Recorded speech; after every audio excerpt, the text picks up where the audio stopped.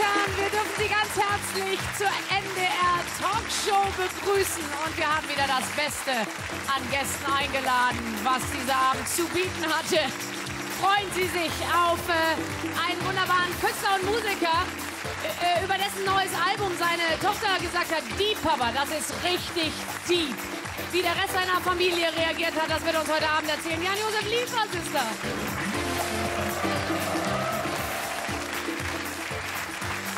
Meine Damen und Herren, im Sommer 2015 kommen tausende Flüchtlinge nach Deutschland, auch nach Hamburg und keiner weiß so recht, wohin mit ihnen.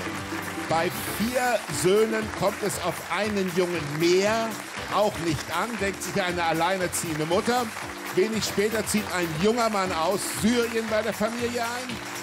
Wie sich der Alltag dadurch verändert hat, das erzählt die Hamburgerin auf eine sehr erfrischende Art. Wir freuen uns auf Adrienne Friedländer, meine Damen und Herren. Wir fragen uns häufig, was zieht die Deutschen in ihrer Freizeit in den Hobbykeller, in den Baumarkt oder auf die Rennstrecke. Er ist diesem Thema ebenfalls nachgegangen und hat eine großartige Serie darüber gemacht. Michael Kessler!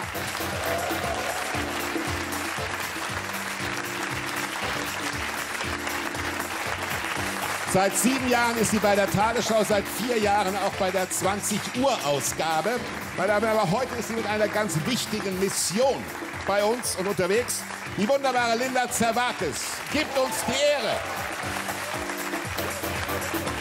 Er ist eigentlich Physiker und Wissenschaftskabarettist.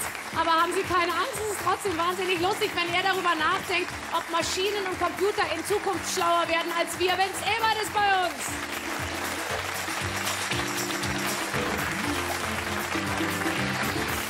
Meine Damen und Herren, seit sie 2014 den Eurovision Song Contest gewonnen hat, ist viel passiert. Sie ist sogar in der Oper von Sydney aufgetreten. Was, eine, was mehr geht ja nicht. Bald kommt sie mit großem Orchester nach Deutschland. Begrüßen Sie besonders herzlich Conchita. Und ein Arzt tut jeder Sendung gut. Bei uns gibt's äh, rezeptfrei, garantiert rezeptfrei Tipps äh, von ganz oben. Er macht jetzt auch ein Arztquiz, ein Medizinquiz. Und wir freuen uns, dass er bei uns ist. Dr. Johannes Wimmer.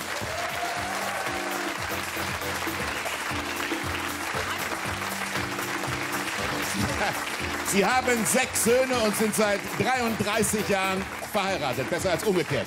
Wie Sie es geschafft haben, auch heute noch sagen zu können, hurra, wir lieben noch. Das erzählen Sie uns nachher. Margie Kinski und Bill Mockridge sind bei uns. Meine Damen und Herren, heute wieder Ihr Gastgeber Hubertus Meyer-Bunker. Und Ihre wunderbare Gastgeberin Barbara Schöneberger. Mein Gott, Mein Gott. Sie sind ja schon völlig müde geklatscht, kann man sagen. Meine Damen und Herren, wir sind hier in einer gelösten Stimmung. Ich kann Ihnen eine wirklich Viel zu lang, diese. Begrüßung. Viel zu lang. Viel Wollen wir denn, aber ja, wir, wir müssen aber jeden begrüßen. Wenn wir dich nicht begrüßt hätten, was wäre denn passiert? Ich hätte geweint. Ich weiß es, ich weiß es. Wir wollten das. Ich freue mich, meine Damen und Herren, dass Sie unser Gast sind, weil wir haben eine ganz besondere Runde, wie ich finde und wie Barbara auch findet. Denn, also mehr geht nicht, also das ist klar. Ich freue mich nicht nur über die Runde, ich freue mich auch, dass Sie gestern Abend äh, vielleicht Fernsehen geguckt haben, denn der NDR hat gestern Abend in unvergleichlicher Weise ein Medium gefeiert, nämlich das Radio, in einmaliger Kulisse und auch einmalig moderiert von Barbara Schöneberger. Wie ich finde. einmalig moderiert. Und, ähm, und äh, viele unserer Gäste hier waren gestern Abend, sei es auf der Bühne wie Jan-Josef Liefers oder sie waren äh, wie ich mit meiner Frau im Publikum. Und es war ein wunderschöner Abend. Das war ein sehr, sehr schöner Abend, kann man wirklich sagen. Und er war so schön, dass wir uns gedacht haben, lasst uns doch nur die Highlights noch mal zusammenschneiden. Und die senden wir dann direkt weg nach unserer NDR-Talkshow. Also da können Sie dranbleiben, falls Sie es gestern verpasst haben. Linda hat es nicht verpasst. Die war im Publikum, weil du bist ja gleichermaßen Radio- und Fernsehmoderatorin. Ja, Was macht Radio so toll? Äh, A, dass man da ungeschminkt äh, Sagen alle, die beim Fernsehen arbeiten. so. Und äh, also so in Zeiten von Social Media und so ist es einfach schön, dass da jemand ist, der zu einem spricht. Also so und man hat die Möglichkeit, seine eigenen Bilder zu sehen. Beim Fernsehen wird ja alles mitgeliefert, das ist ja immer das Kompaktpaket. Und beim Radio äh, hat man immer noch das Gefühl, okay, eine Synapse mehr ist noch da und die muss jetzt die eigenen Bilder produzieren. Und das finde ich eigentlich immer ganz schön Kennt ihr das, wenn man im Winter, mir ist das mal passiert, im Stau steht und es ist ganz, ganz schreckliches Wetter und schneit wie verrückt und man denkt, es geht nicht mehr weiter. Und das Radio läuft und die sind so bei einem und die sagen dann auch, ne, Ja, es schaffst ist das. jetzt Stau, Du schaffst es das. ist auch gleich schaffst das. Stau Und Auge, ja, die ja. kommen mit Decken und ihr kriegt zu essen Ja. zu. Das ist wirklich, Welchen Sender hörst du? Conchita, Familie nie wiedersehen. nee, das auch wirklich, andere haben Eheprobleme. Ja. Conchita, erinnerst du dich, als du das erste Mal einen Song von dir vermutlich überraschenderweise im, im Radio gehört hast? Oh, das war nicht überraschenderweise. Ich habe mir die Uhr gestellt, ich wusste genau, wann ich dran bin. ähm, denn das war so ein absurdes Gefühl, aber ein wahnsinnig schönes. Es war damals, glaube ich, ich war in einer Boyband. Wir alle machen, wir alle Aber ich machen war, Fehler. sehr, ich war sehr aufgeregt, als dieses Lied damals im Radio lief. Ja. Dr. Wimmer, welche, ähm, welcher Sender läuft bei einer OP im Hintergrund?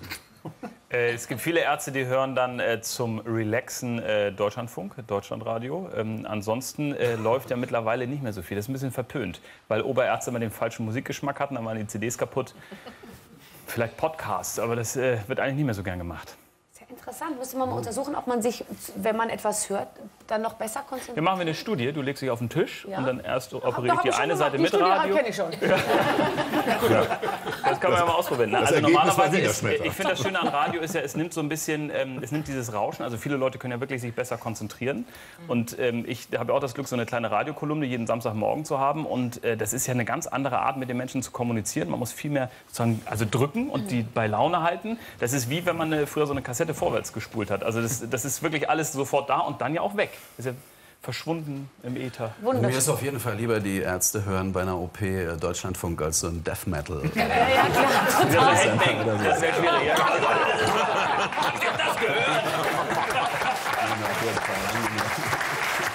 Ja, meine Damen und Herren, freuen Sie sich auf einen Mann, der gleichermaßen im Radio und im Fernsehen vertreten ist. Jan-Josef Liefers ist bei uns. Guten Abend. Du bespielst alle Medien. Ähm, deine letzten Quoten, wir müssen es kurz besprechen, weil es wirklich inzwischen in beängstigende Höhen geht, die man eigentlich noch aus den 80ern kennt, als nur die Schwarzwaldklinik lief und alle das geguckt haben, gehen, äh, gehen wirklich, die explodieren. Ihr habt, glaube ich, beim letzten Mal 14,5 Millionen Zuschauer So, erreicht. ja. Ja, Wahnsinn. 14,5 Millionen. Ich wusste gar nicht, dass so viele in Deutschland wohnen überhaupt. Wird dir das unheimlich? Das ist so eine abstrakte Zahl, oder? Man, man kann sich nicht wirklich darunter was vorstellen. Mir hat mal einer gesagt, stell dir einfach vor, jeder von denen würde dir einen Euro schicken. Oh Mann, ey. Und auf einmal na, hat es gesteigert. Aber war es viel. Und ähm, ja, ich, ich, ich, ich, irgendwie bin ich, äh, irgendein ähm, Aberglaube in mir sagt mir, äh, hör nicht so hin, wenn die Zahlen kommen und äh, das ist nicht so wichtig. Also für mich ist wichtig, dass wir immer noch nach der Zeit, die wir das jetzt machen, sind auch schon ein paar Jährchen, Spaß haben miteinander, dass, äh, dass ich mich freue, Axel wiederzusehen, ähm, Christine, Friederike und alle unsere Leute. Wir sind wirklich ein, das sieht nicht nur so aus, sondern wirklich ein ziemlich verschworener Haufen, der sich sehr mag und sich wirklich freut, zweimal im Jahr zusammen vor der Kamera zu stehen. Das ist auch immer eine coole Zeit. Das ist ja, glaube ich, so, sowieso eins der größten Privilegien unseres Berufs, dass man eigentlich fast jeden Abend nach Hause kommt oder jede Nacht und immer sagt, es war ganz toll. Wir hatten ganz viel Spaß und wir haben, wir haben vielleicht zusammen gespielt oder zusammen Musik gemacht. Und du, du hast ja beides. Du kommst jetzt gerade häufig äh, nach Hause und sagst, wir haben ein tolles äh, Konzert gemacht, wir haben schöne Musik gemacht. Ähm, wird da ein Traum wahr, wirklich mit der Gitarre zu stehen und vor Menschen Musik zu machen? Ja, das muss ich ja noch nicht mal. Ich, ja, ich, bin- ich bin ja noch nicht mal darauf angewiesen, mit meiner Gitarre zu spielen oder dazu zu singen, sondern ich habe eine ganz tolle Band um mich herum. Und weil wir gerade von Radio gesprochen haben, wir sind alle Radiofans. Noch aus einer anderen Zeit, so, wo, wo Radio noch, wo es noch dampfte aus dem Radio. Ja, und ähm, und äh, das, die, wir haben sogar, sind so große Radiofans, dass die Band Radio Doria heißt, tatsächlich. Und ähm, die spielen für mich. Ist das nicht toll? Ich kann, kann mich voll und ganz äh, auf, auf, äh, auf, die, auf die Leute konzentrieren, die da gekommen sind. Und da hole ich mir ein bisschen das zurück, was, was durch die Dreherei verloren gegangen ist, nämlich den Kontakt zum Ja. Publikum. Weiß, Ihr habt das ja hier auch. Ne? Stell dir vor, ihr, ihr wärt jetzt alle nicht da, dann würden wir, keine Ahnung, von der blauen Nein, Wand du sitzen. brauchst ja die Energie. wär- ist- Aber es ist eben trotzdem, Ja. und es ist eben so, an, an, an manchen Abenden ist es auch energetischer als an anderen. Auf und, das, jeden Fall. und das ist immer das Zusammenspiel aus Das beiden. Gelingen eines Abends ist immer sehr abhängig Vom von Publikum. der Begeisterungsfähigkeit des Publikums. Kein Druck.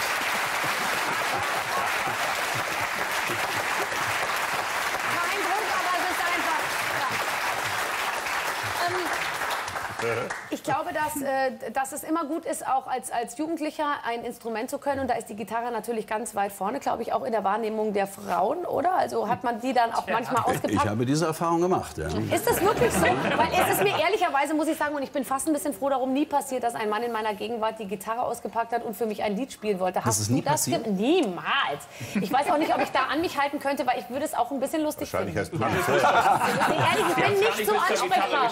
Ich wollte gerade auch, das war auch meine Vermutung. Du die Gitarre sogar ausgepackt?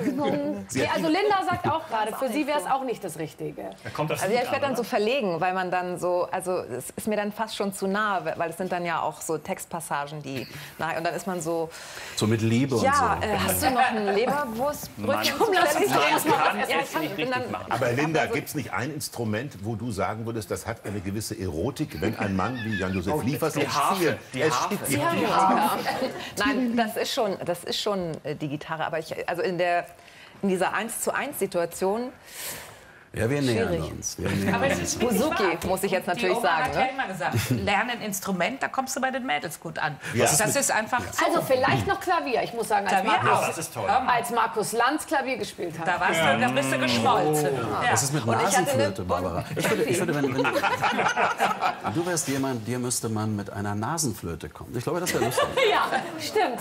Das ist aber Gott sei Dank auch noch nicht passiert. Aber da, ich bin ja noch jung. Das hätte man auch sensibler formulieren können, Herr Liefers. Nein, ich meine doch wegen des Humors. Ja, ja, natürlich, ich weiß. Wie, wie, wie, wie hast du es gemacht? Ich meine, also du hattest die Gitarre und man muss sich ja sonst mehr. auch noch irgendwie ein bisschen unterscheiden von den anderen. Hast du auch auf, äh, auf ausgewählte Outfits gesetzt äh, als Jugendlicher, um irgendwie durchzustarten? Weil man muss sich, musste sich ein bisschen unterscheiden. Also ich bin in der DDR groß geworden. Da war es mit ausge, ausge, ausgefallenen Outfits schwieriger. Ja. Aber was wir gemacht haben, ähm, wir haben einen großen Bogen gemacht um die Kaufhäuser und um die Jugendmoden und sind in äh, Second-Hand-Läden und Berufsbekleidungsgeschäfte gegangen und haben äh, Malerkittel gekauft und die äh, gebatigt. Ja. ja.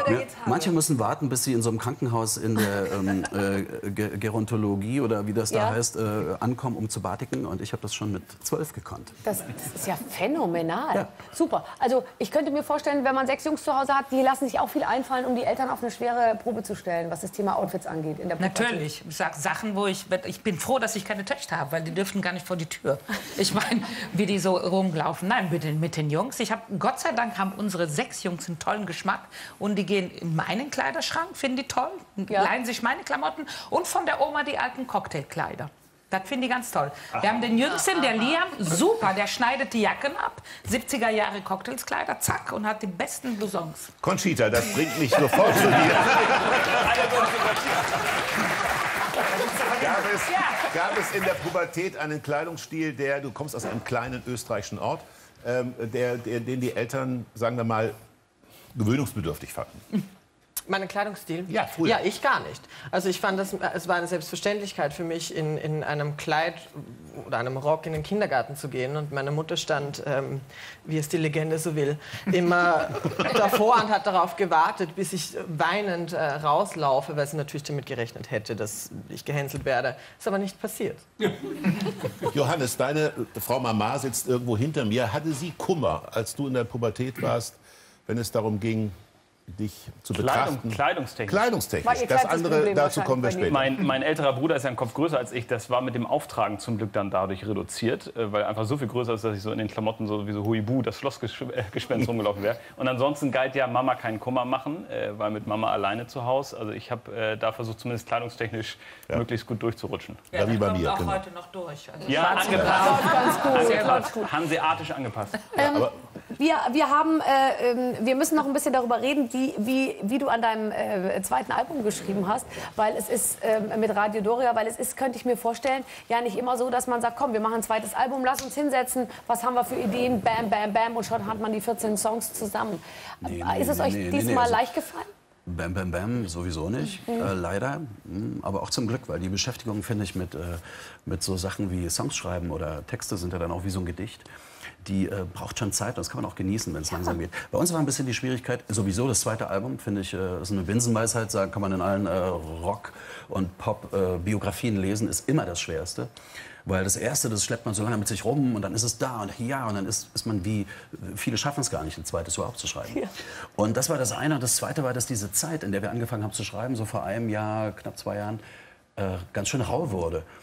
In Deutschland auch. Das lag zum Teil an den ähm, Flüchtlingen, die nach Deutschland kamen. Es lag äh, daran, dass Terror nach Europa kam und dass, das, dass die, die Gesellschaft so ein bisschen auseinanderfällt seitdem. Mhm. Und ähm, es gibt sogar keine, diese Kultur, dass man ähm, damit leben kann, dass jemand eine andere Meinung hat und, und man diesen Austausch darüber auch äh, schätzt.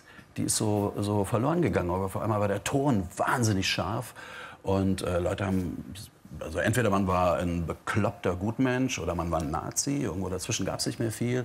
Und man wurde in Ecken geschoben, wo man gar nicht hingehörte. Und, und äh, das, das ist, ich, ich fand es schwer in der Zeit, ähm, äh, einen fröhlichen, äh, schönen Popsong zu schreiben. Ne? Mhm. Und gleichzeitig fand ich aber, dass die, die, ähm, die Freude am, am, am Leben und am Dasein und äh, auch am Austausch und am Beieinandersein, das war, was am meisten fehlte. Also habe ich mir gesagt, ich will eine Platte machen, die, ich habe so gesagt, pass auf, es ist so, als würde man eine Handvoll Glückskekse mhm. greifen und so in die Luft werfen. So muss ich das anhören. Und ähm, ohne dabei eben platt oder äh, äh tralala zu sein. Das war das Ziel. Das ist gar nicht so einfach, sowas hinzukriegen. Und jetzt haben wir es, ich finde, ordentlich hingekriegt. Also, Aber ihr habt eine Reise gemacht tatsächlich, um ja. auch den Kopf irgendwie freizukriegen? Ja, das war so eine. Das war erstmal finde ich es immer gut zu reisen. Ja? Mhm. Dann finde ich es immer gut mit einer Band, mit seinen Freunden zusammen unterwegs zu sein und sowas gemeinsam zu erleben. Und der dritte Grund war, das war auch so ein bisschen Trotz. Das war so, dass wir gesagt haben, okay, also das neue Feindbild ist für die nächsten 10, 20 Jahre der Islam. Okay, dann fahren wir doch mal dahin, äh, wo der Islam herrscht. Ja? Und dann haben wir tatsächlich einen ähm, Flug gebucht, jeder, und sind zusammen nach Teheran geflogen, in den Iran, ja, nach Persien. Das Ziel war eigentlich, äh, Musiker zu treffen und äh, was über persische Musik zu lernen. Das ist ja wirklich hochinteressant. Als wir die ersten Musiker trafen und die uns was vorspielten, haben wir gedacht, sollen wir denen sagen, dass sie ihre Instrumente noch mal stimmen sollten? äh, bis wir dann gelernt haben, dass es in der persischen Musik Vierteltöne gibt. Nicht nur halbe und ganze wie bei uns, sondern auch Viertel. Ja. Das, das hört sich natürlich erstmal schräg an. Hier läuft gerade eine Matz übrigens. Wenn ja, wir sehen gerade, ähm, ja, die Musik ja. macht mit äh, wahrscheinlich iranischen Künstlern. Genau. Nimmt man dann wirklich die Inspiration? Ich glaube, das geht ja nicht spurlos an einem vorbei, oder? Also das, da, da, diese Inspiration, die nimmst du ja dann voll mit. Ja, also wir haben viel gelernt, wir haben viel Neues erfahren und wir haben vor allen Dingen äh, gemerkt, ähm, dass, ein, dass das Bild, das, das, das in den Medien auf der ganzen Welt von einem Land dargestellt wird, was zum Teil auch das Land selber von sich in die Welt trägt, äh, nicht unbedingt sehr viel zu tun haben muss mit dem Leben der Menschen äh, im, in einem Land. So zum Beispiel im, im, im, Iran, dafür, dass das sozusagen, wir würden ja sagen, eine islamische Diktatur ist. Ja? Mhm. Ähm, was auch stimmt zum Teil. Aber was du auf der Straße siehst, ist was ganz anderes. Du siehst unglaublich fröhliche, freundliche Menschen, die, die sehr gastfreundlich sind. Ähm, du siehst Frauen, die sich bedecken aber nicht wie, wie wir das aus Kreuzberg kennen, sondern äh, mit, mit weiten Schals, die, die, die wirklich aber gerade so hinten noch auf dem Hinterkopf sitzen und, und äh, fast sexy aussehen. Mhm. Johannes nickt. So Johannes hat, reist, ja, ich, reist ich war ähm, jetzt neulich mehrfach in Saudi-Arabien und ähm, das, die Gesellschaft öffnet sich enorm. Es ist wie eine Naturgewalt. Es gibt gar keinen Weg dagegen an. Und wie dann Frauen anfangen, sich dann, ähm, sobald sie merken, es sind ja zum Beispiel nur Europäer oder westliche Gäste ähm, in dem Raum, dann lüften sie das, äh, den Schleier so ein bisschen, ziehen sich anders an. Mittlerweile ist es alles bunter bestickt. Also es ist faszinierend, das zu betrachten. Und dann auch zu sehen, Saudi-Arabien gibt es auch wirklich auch noch das Vollverschleierte, wie dann aber diese gerade jungen Frauen im Krankenhaus, wir haben da tolle Krankenhäuser besucht, ähm, dann dem Chef richtig Widerworte geben und auch einen ganz spitzen Humor haben, so eine Art Mutterwitz äh, wo man sich denkt, das ist enorm. Das, also so muss man das leben. Man kann nicht von oben sagen, jetzt wird hier sozusagen alle Führerscheine und so weiter und so machen wir das. Das muss ja auch aus der Gesellschaft kommen und das, also das ist irre, ähm, stimme ich dir total zu, das zu sehen, wie das, äh, sozusagen, wie das Menschenbild dann neu aufblüht. Ja, noch nicht ganz überall, aber... Nein, nein, nein, nein, nein, nein, nein, nein. Aber Nein, ich meine, bei all diesen äh, Inspirationen und so sind wir jetzt natürlich gespannt, etwas zu hören. Und du bist natürlich hier angereist und hast alles mitgebracht, was du brauchst. Die zwei Jungs kommen schon rein. Wir freuen uns auf Christian Ademals und Jens Neckel mit den Gitarren. Und du hast uns ähm, einen schönen Song mitgebracht. Ähm, äh, auf den ich mich ganz besonders freue. Wir können vielleicht danach noch ein bisschen drüber reden. Jeder meiner Fehler heißt der in einer ganz speziellen Unplugged-Version. Das ist eine Version nur für dich. Nur, genau, so hatte ich mir das erhofft. Vom neuen Album. Zwei Seiten. Hier sind äh, Jan-Josef Liefers und Radio Doria. Teile von Radio Doria.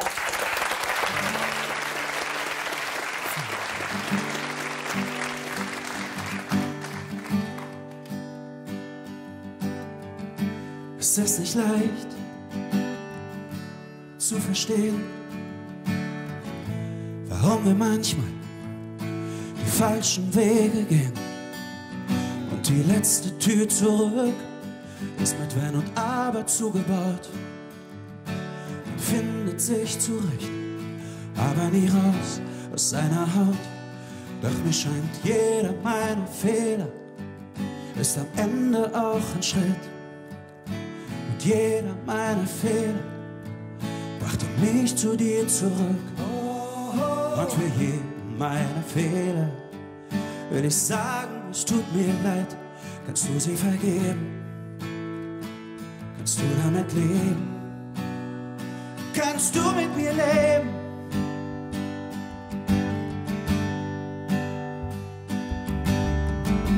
Bin mit dem Kopf durch jede Wand. So viel Pläne unterwegs verbrannt. Lad mir selber auf den Boden, unter den Füßen weggezogen. Und wollten wir geradeaus. Bin ich doch abgebogen. Oh, mir scheint jeder meiner Fehler ist am Ende auch ein Schritt. Jeder meiner Fehler brachte mich zu dir zurück. Und jeden meiner Fehler will ich sagen, es tut mir leid, kannst du sie vergeben? Vielleicht kannst du damit leben. Kannst du mit mir leben?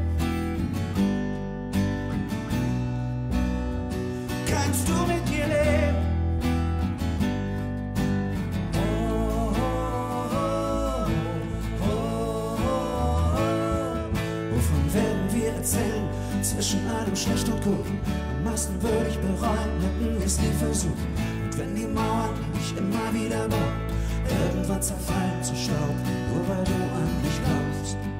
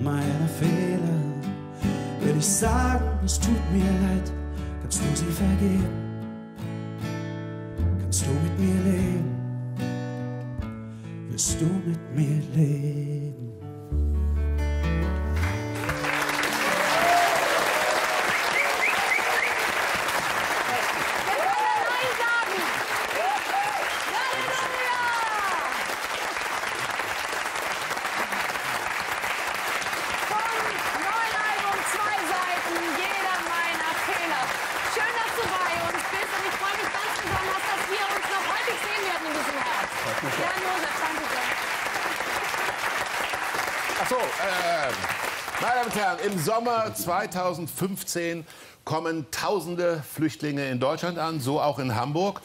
Die Stimmung ist angespannt. Äh, die Bundeskanzlerin Angela Merkel wird äh, zitiert immer wieder durch ihren berühmt gewordenen Satz, wir schaffen das. Eine Hamburger Journalistin, alleinerziehende Mutter von vier Söhnen, ähm, reagiert auf eine ganz eigene Art auf, dieses, auf diesen Ansturm von Menschen, die in Not sind. Sie gibt im November 2015 einem 22-jährigen Syrer ein neues Zuhause. Und ich freue mich sehr, dass diese couragierte, wunderbare Frau heute unser Gast ist. Wir begrüßen Adrienne Friedländer. Herzlich willkommen.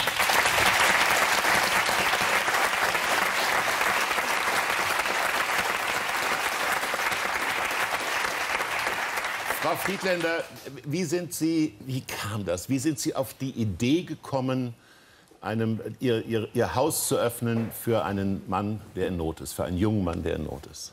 Da kamen ganz viele Dinge zusammen gleichzeitig. es gab diese Bilder in den Nachrichten, in der Zeitung, die meine Familie und ich, also meine Kleinsöhne vor allen Dingen, äh, mit Interesse verfolgt haben und mit Bestürzung verfolgt haben. Dann gleichzeitig hat meine Freundin Marion Schmitz als ähm, Musiktherapeutin in der Erstaufnahme gearbeitet und hat einen jungen Mann dort aufgenommen, hat mir von diesen Erlebnissen erzählt.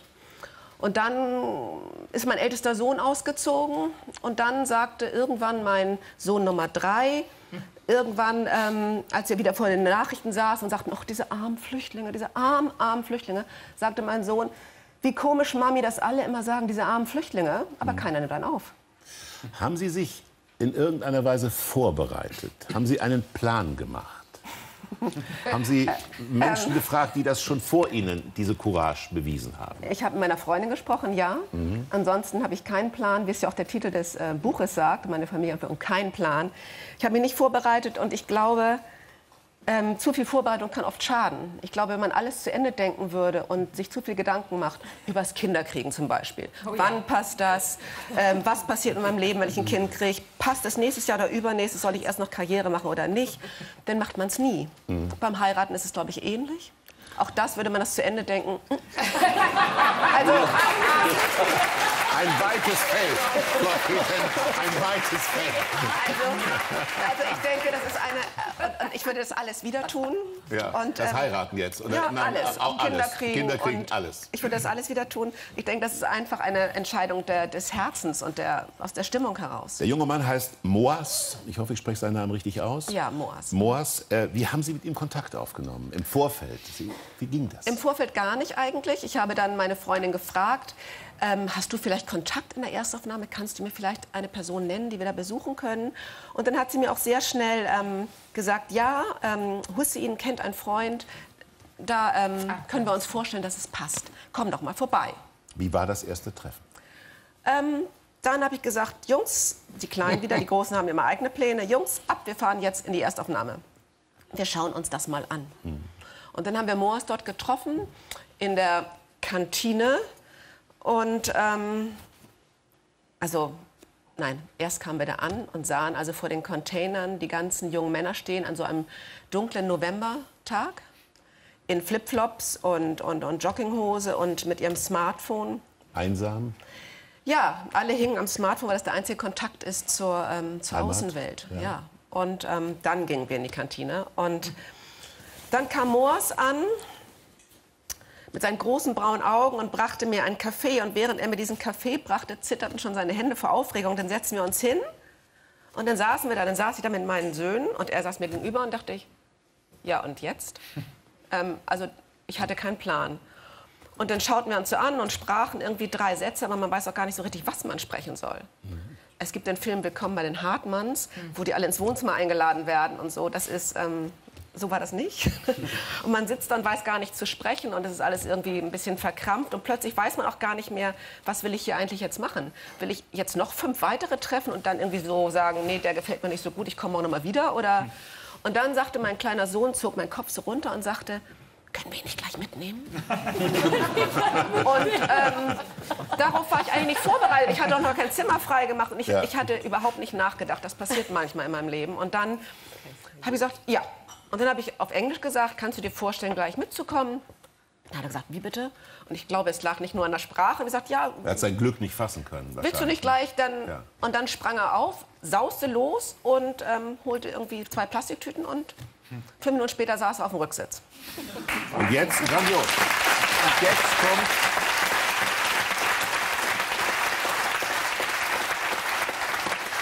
Es ist ein Mann mit einem, mit einem völlig anderen kulturellen Background. Und das führt natürlich zu Diskussionen, zu Komplikationen im komischen Bereich, wahrscheinlich auch im substanziellen Bereich. Sie haben vier Söhne, aber das ist nicht, das, äh, das ist nicht alles. Sie haben auch eine Katze und Sie haben einen Hund Carlo.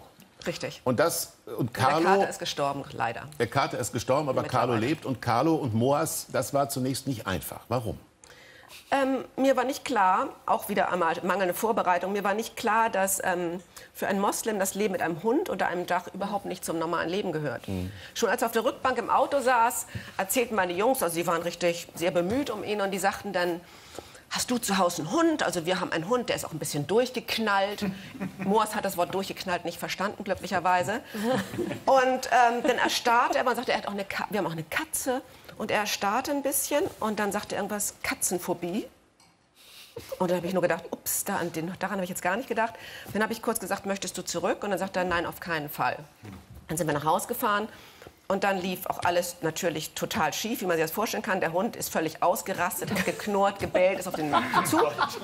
Und er stand da so und ich dachte, okay, der, hat ja, der kommt ja aus dem Krieg, also der hat wahrscheinlich anderes erlebt. Und dann tauchte auch der Kater gleich auf und ich dachte nur, oh Gott, das ist alles ganz furchtbar. Aber er hat, ähm, er hat das gut gemanagt. Er hat einfach abgewartet, einfach abgewartet. Das Verhältnis hat sich beruhigt. Das hat sich nicht nur beruhigt, sondern ähm, Moas erzählt ja überall heute noch, dass Carlo sein erster Hund war, dass Carlo seine Einstellung und seine ganze Meinung über Hunde verändert hat. Und ähm, das ist eine große Liebe. Er holt ihn heute noch zu Spazierengehen ab und Carlo freut sich ein Loch im Bauch, wenn er kommt. Sie beschreiben.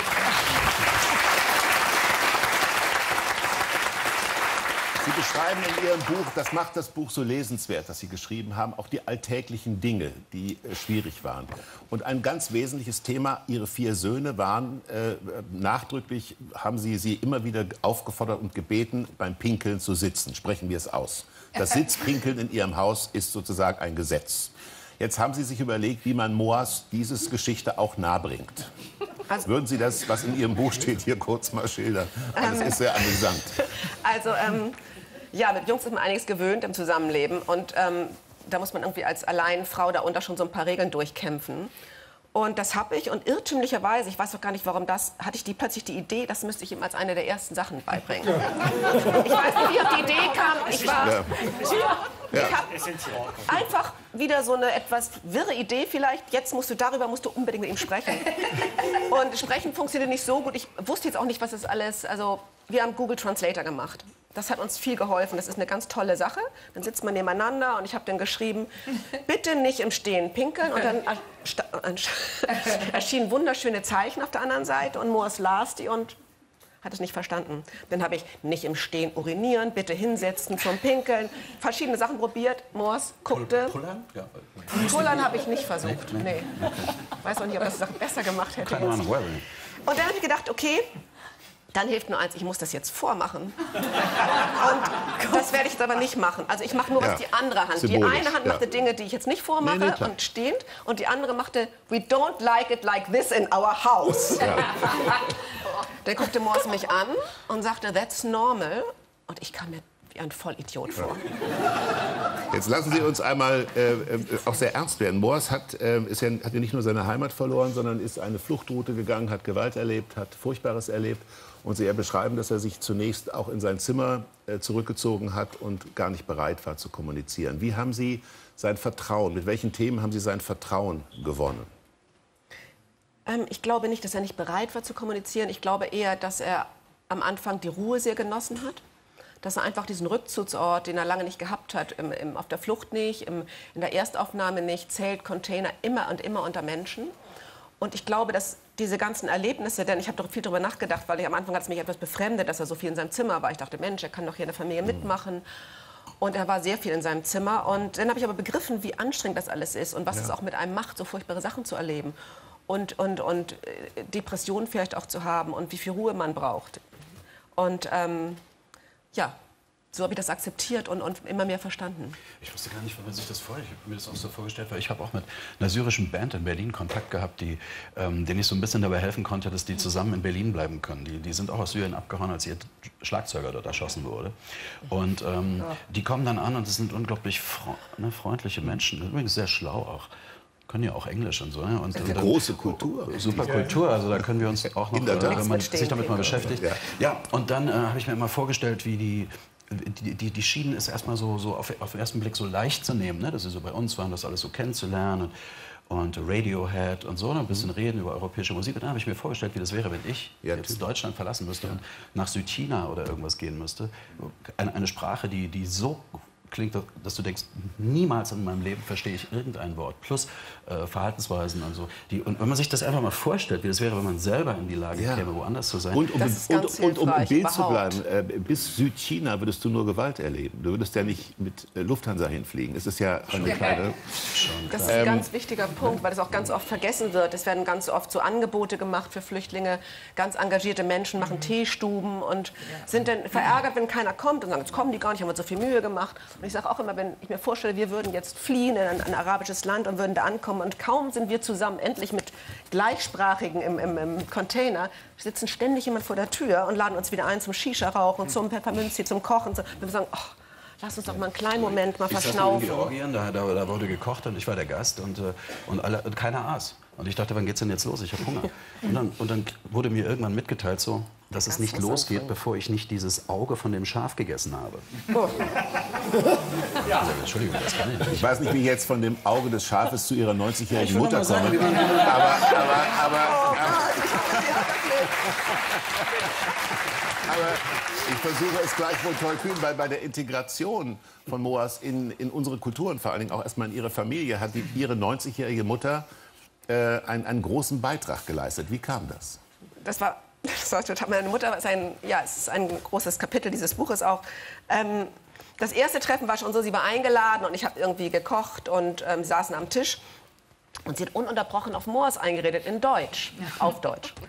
Und ähm, ich habe nur gesagt, Mami, er versteht dich nicht, du musst Englisch sprechen. Und sie sagte immer, sei doch mal ruhig jetzt und so. Und dann sprach sie, und do you know Angela Merkel und do you know und dies und das. Und ab und zu sagte sie mal ein englisches Wort, dann rief sie in die Küche, Adrienne, was heißt Bundeskanzler auf Englisch und so. Dann habe ich gedacht, ich müsste dem Jungen zur Hilfe eilen. Ach, ich sagte nur so, das ist ein bisschen nicht. Aber nein, er hing an ihren Lippen und sie es genossen. Sie sagte nur, also, weil er hat ihr sehr, sehr geduldig zugehört. Das ähm, fällt uns manchmal schwer nach längerer Zeit.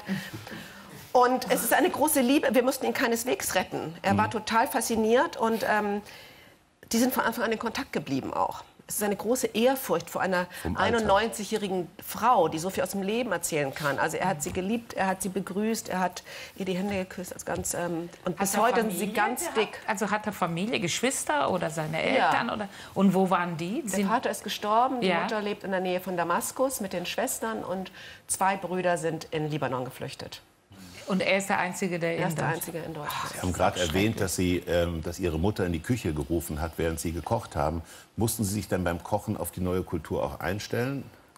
Ähm, wir haben das ähm, Schweinefleisch? eher so Beispiel? gemacht. Ähm, also Schweinefleisch ist ein schönes Thema, weil wir haben uns oft getroffen morgens in der Küche, wenn ich irgendwie das Frische für die Kinder machte. Und dann hatte Moas immer irgendwie sein Smartphone und sagte immer zu mir, es sind letzte Nacht wieder fünf Leute an Schweinefleisch gestorben. Und dann sag ich, Moas, ich weiß nicht, wo du diese Zahlen nimmst. Wo denn und so weiter. Hier, ich höre da nie von.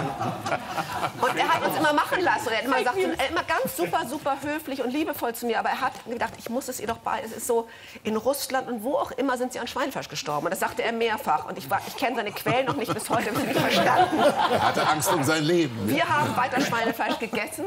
Und ähm, ich, Kein Met für Moas. Ein für Maus, auch ein schöner Titel. Ja. Das war ein schöner Buchtitel. Aber ähm, nee, ich glaube, es hat nur funktioniert, auch meine Kinder, die ja sofort zugestimmt haben, jemanden aufzunehmen. Ähm, es funktioniert nur, wenn man irgendwie Leben und Leben lassen Ja. machen lässt. Also haben wir unsere Sachen weitergegessen. Beim Sonntagsfrühstück haben wir irgendwie Bacon gebraten zum Rührei. Aber es gab auch immer einen Teller mit Rindfleischgeschichten. Wir haben einfach beides Haben gemacht. Sie mit den Gedanken gespielt, mal ich schummle ihm mal so eine Scheibe Schinken unter? Oder Ähm, sind Sie immer aufrichtig geblieben, Frau Friedländer? Ich habe mit dem Gedanken gespielt, weil ich dachte irgendwie so ganz kurz, wenn er gar nicht Schweinefleisch isst, weiß er auch gar nicht, wie es schmeckt. Und dann merkt er es vielleicht ja, auch gar nicht. Aber dann, dann hat er jedes Mal nach dem Kochen gefragt, ist das für mich in Ordnung? So, als würde ich immer noch irgendwas kochen, was nicht in Ordnung war. Und das hat mich so gerührt, dass ich das niemals gemacht hätte. Nein.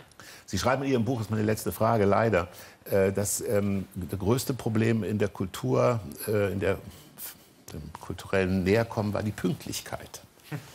Äh, äh, gibt es da in Syrien ein anderes Verständnis? Ähm, Pünktlichkeit war lustig. Also da kann ich jetzt mehrere Geschichten zu erzählen. Neulich habe ich noch darüber mit ihm gesprochen und er hat gesagt, wie kommst du auf die Idee, dass wir nicht pünktlich sind? Ich habe gesagt, Moos, du kannst jetzt nicht ernsthaft sagen, dass du immer pünktlich bist. Doch, und das wäre böse Nachrede und ich wäre ja noch gar nicht in Syrien gewesen, woher ich das wissen sollte mit der Pünktlichkeit. Und ähm, wir haben lustige Erlebnisse gehabt, dass wir irgendwie zum Arzt gingen und ich dann um Viertel vor drei ihn weckte und sagte, wir haben um drei den Termin, Moos. Und er konnte gar nicht verstehen, dass man auch wirklich dann um drei hingeht. Ja. Und das Lustigste, was ich erlebt habe, war eigentlich, dass er mit einem Freund mal verabredet war. Die wollten in die Stadt fahren. Am ersten Tag kam Moors in einer Stunde wieder zurück und sagte, der Freund hätte verschlafen, der war nicht im S-Bahnhof. Nächster Tag. Am nächsten Tag war der Freund da und Moors hatte irgendwie den Termin verschwitzt. Und am dritten Tag dann endlich haben die sich getroffen und sind in die Stadt gefahren. Aber es war überhaupt gar keiner böse von beiden. Das war einfach Ja. so. Das ist aber nicht typisch syrisch, das passiert mir auch. Ja.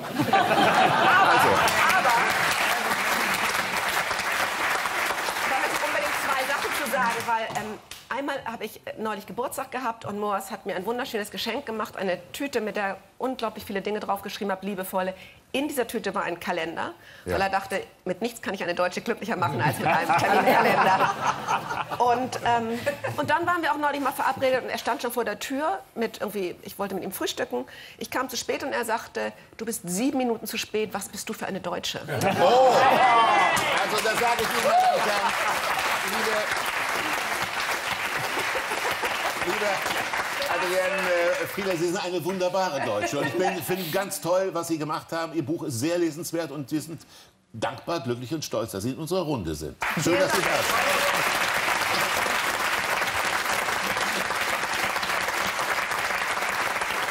Liebe Zuschauer, Sie wissen es vielleicht aus eigener Erfahrung, und es gibt Tausende, wahrscheinlich sogar Hunderttausende von Deutschen, die kleine Feuerwehrautos bauen. Ähm, wieder andere binden ihren Pudeln kleine Zöpfchen, wieder andere verschwinden im Keller und setzen sich Schaffnermasken auf oder verkleiden sich als Zwerge. Es gibt alles. Es geht um die Hobbys der Deutschen und es gibt einen Mann in- in dieser Runde, der sich mit den Hobbys der Deutschen ganz besonders beschäftigt hat. Er hat sie nämlich ganz genau begleitet und beobachtet beim Ausüben ihres Hobbys. Freuen Sie sich auf Michael Kessler. Dass du, dass du so, dass du so liebevoll mit den Hobbys der Deutschen umgehst, das kann man ja sagen, ähm, liegt vielleicht ein bisschen daran, dass du auch großes Verständnis hast, denn Ja. auch du ähm, warst ja einem gewissen Hobby anhängig. Ja, früher, also Modellbahner natürlich, äh, im Maßstab, mein, mein Leben im Maßstab 1 zu 87.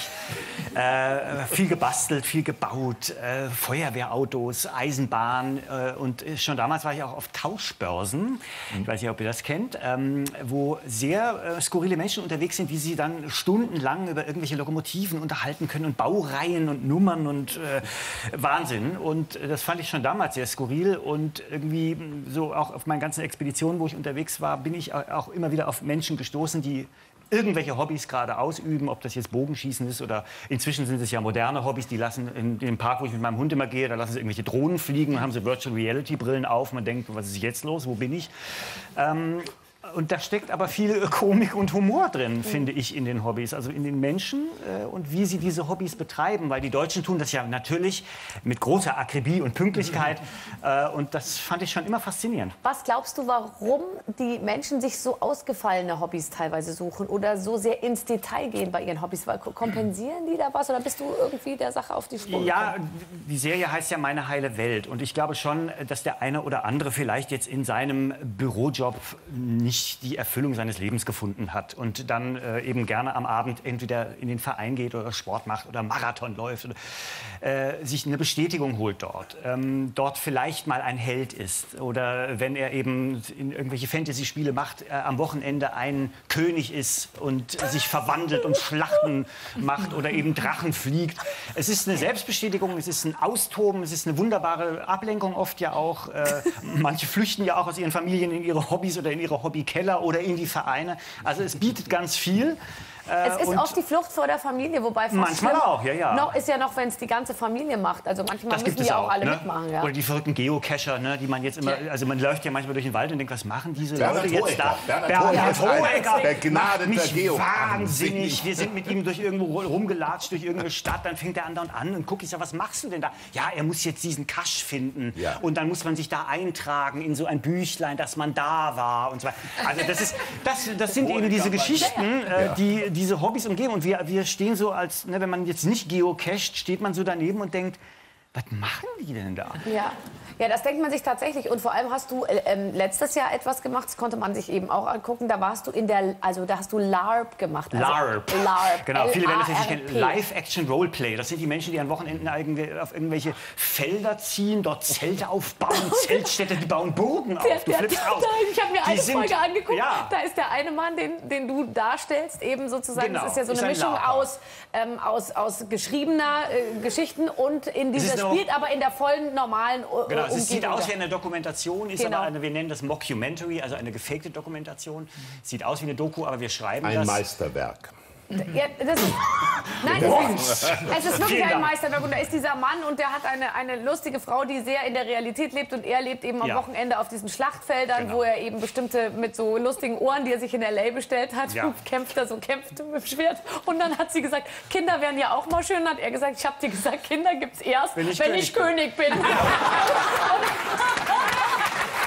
ist wirklich so schön. Und sie können Aber man fragt sich doch eigentlich, wer das Hobby mehr genießt, er oder die Frau. also Also die hat ja auch endlich mal Ruhe. Wenn er da als Elfe den ganzen Tag durch die Wohnung hüpft, dann äh, ist sie vielleicht auch mal froh, dass er auf dem Feld ist und Ja. sich da austobt. lustig. Und die heißen LARPer. LARPer, genau, Live-Action Ich bin ein Also das ist LARPer. Fantasy. was Das gibt's ist denn da alles? In welche Welten kann also man das ist toll. eintauchen? Nein, man, man kann da alles sein. Also ich kann da ein Ritter sein oder ein König, ich kann ein Heiler sein, ein, eine Elbin oder irgendwie. Es ist auch also irre, die machen Aber dann da so wollen doch alle König sein. Ich Nee, meine, nee, nein, sonst nein, nein, äh, nein, äh, bei der überhaupt BAF arbeitest oder, Nein, äh, äh, nein. oder sonst da wollen sie, irgendwie- du, manche wollen auch Hexen sein oder irgendwas. Also es im gibt alles. Krankenhausalltag. Ja. Du, das, ist, das Wir leben das. Ich ziehe den weißen Kittel an und schon bin ich verkleidet. Für König, Hexe, Heiler, alles. Na, aber der, die Heiler sind echt irre. Henker auch, ja. ja Das je nachdem, mal- wer einem gegenüber sitzt. Als Arzt musst du dir das eigentlich mal angucken, weil die haben dann solche Schlachten und dann ist dann einer eben verwundet. Also sie hauen ja nur mit so Styroporschwertern auf sich.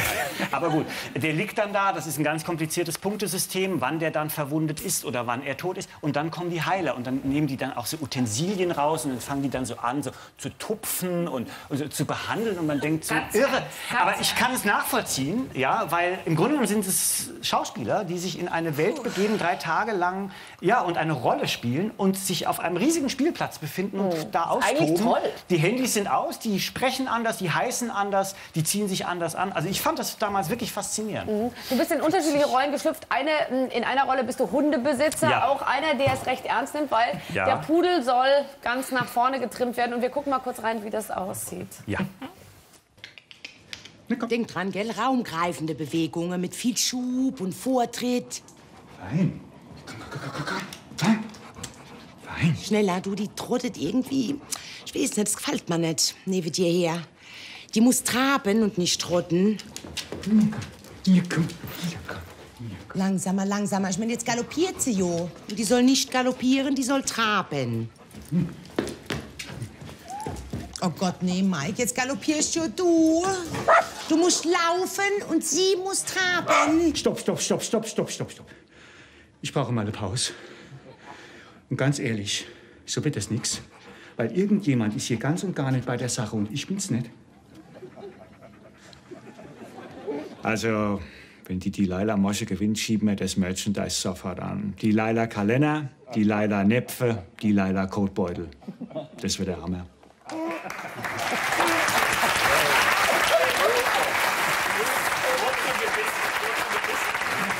Ich gebissen Ja, hat wurde? der Hund nicht gebissen? Der Hund, nein, der Hund nicht gemerkt, dass du ihn verarscht. Nein, äh, Pudel sind hochintelligent. Ja. Ist wirklich so. Pudel sind, ja, Pudel sind ja eigentlich Jagdhunde. Ja, und es war wirklich, es Die war kein Enten. Filmhund, das war ein, ein ganz normaler Königspudel, den wir gecastet haben. Und der hat das alles ganz Barbara toll und ich gemacht. haben den Eindruck, dass Männer bei Hobbys irgendwie stärker vertreten sind als Frauen. Täuschen wir uns? Ja, das weiß ich nicht. Es gibt so klassische Männerhobbys, aber gerade, ich finde, im Sport sind ja auch unheimlich viele Frauen unterwegs. Also wenn du guckst Sport beim ist ja Marathon. kein Hobby. Doch, natürlich. Das Ach so, ist ein Hobby. Hobby und eine Passion. Da so, guck dir ja, doch mal die verstehe, Leute an, über diesen Marathonläufen oder Triathlon und so weiter, was es da alles gibt. Conchita, was glaubst du, ist das beliebteste Hobby der Deutschen? Das Nach ich Meinungsumfragen. Das Ich habe keine Gärtnern. Ahnung, ich habe keine Das Gärtnern, das Ja. Gärtnern. Und auch in diese Welt ist, bist du geschlüpft. Ja. Und das ist nun wirklich ein Meisterwerk, das ich mir zehnmal hintereinander angucken könnte. Und das Publikum was man los? muss auch mal, ja, schau's mal. Nein, Ja, ja, mal- ich geb's hatte- dir nachher, Ja, ich das ist 10 wunderbar, finde ich super von dir. Ich hatte mal so einen Nachbarn, genau so einen Nachbarn. Echt? Exakt. Okay. Ich hoffe, bist, bist du das gewesen? Ja, vielleicht. Also, wir, wir schauen uns das mal an. Wir schauen uns mal. Karin!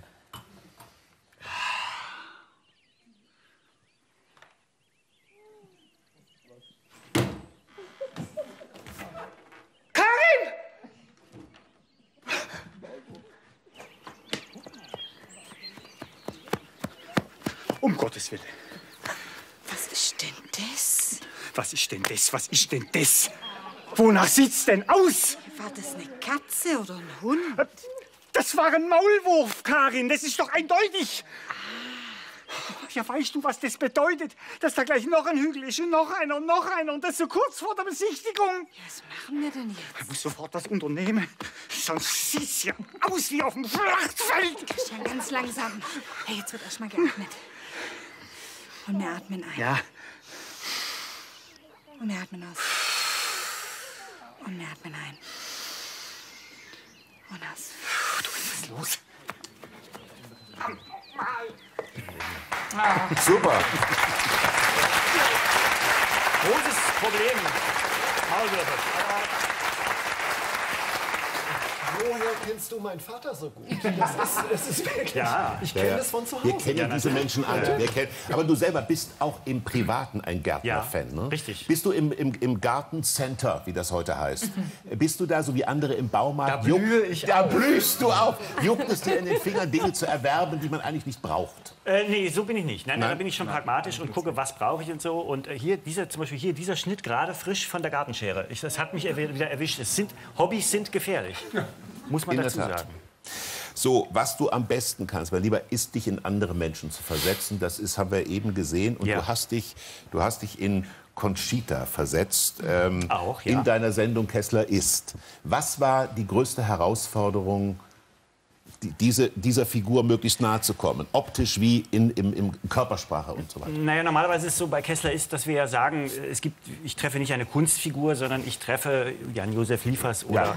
Barbara Schöneberger. Ähm, und jetzt ist äh, Tom Neuwirth aber als Conchita unterwegs und das war erstmal so ein Punkt, wo wir gedacht haben, funktioniert das? Und das habe ich aber mit ihm und ihr geklärt zu Beginn der Sendung, dass es natürlich auch um den Menschen hinter Conchita geht und deswegen hat es dann auch funktioniert. Aber klar, ich musste mich dieses Mal in Conchita äußerlich verwandeln, aber eigentlich ging es auch um Ja. Tom Neuwirth. Ne? Aber ich finde vor allen Dingen neben der Verwandlung auch die Art, wie du sprichst als Conchita so, dass ich eine Gänsehaut hatte. Und ich glaube, dir wird es ähnlich gegangen sein.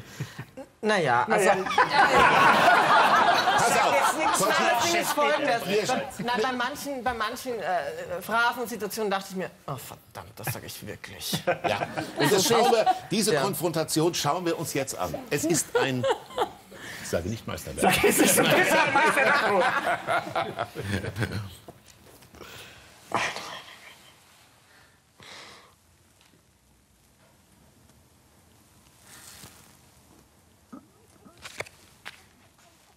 Das sieht wirklich gut aus.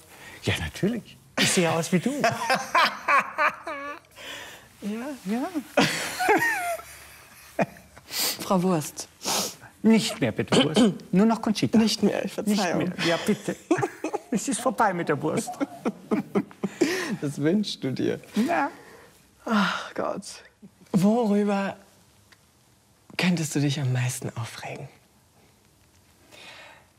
Also ich habe schon mit äh, Ricky Martin und Sir Elton John geknutscht. So schnell reg ich mich über nichts mehr auf. Das ist es, was Ja. du mir erzählst? Ja, na klar.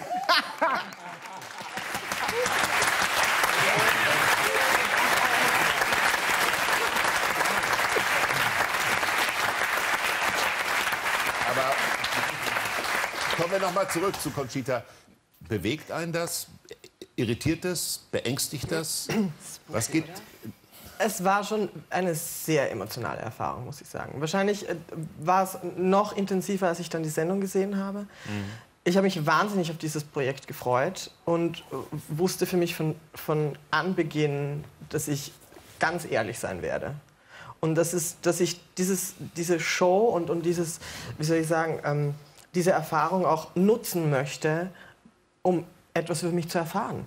Weil manchmal muss man es eben gesagt bekommen, dass man es versteht. Und, und ich finde, wir hatten also für mich ein, ein sehr tiefgehendes Gespräch und, Mhm.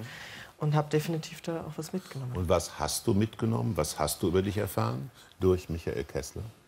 Naja, ähm, wie soll ich sagen, ich bin, keine Ahnung, gerade in einer Entwicklungsphase. Ich, wir alle entwickeln uns weiter, aber bei mir ist es gerade sehr intensiv, dass ich nicht wirklich weiß, in welche Richtung ich gehen soll.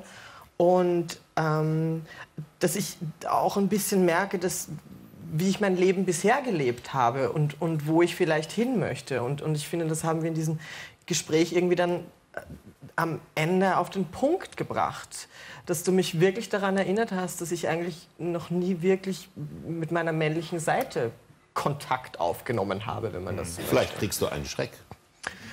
Nein, ich mag mich ganz gern. Aber das ist zu erwarten, dass deine männliche Seite deutlich hervorkommt. Ich weiß es nicht, das ist kein Plan, das passiert einfach. Also, jedenfalls Michael. nicht rasiert. Nein. Nein. Ich liebe jedes Haar an meinem Körper. Ich auch. Also ich sage nicht mehr Meisterwerk. Aber,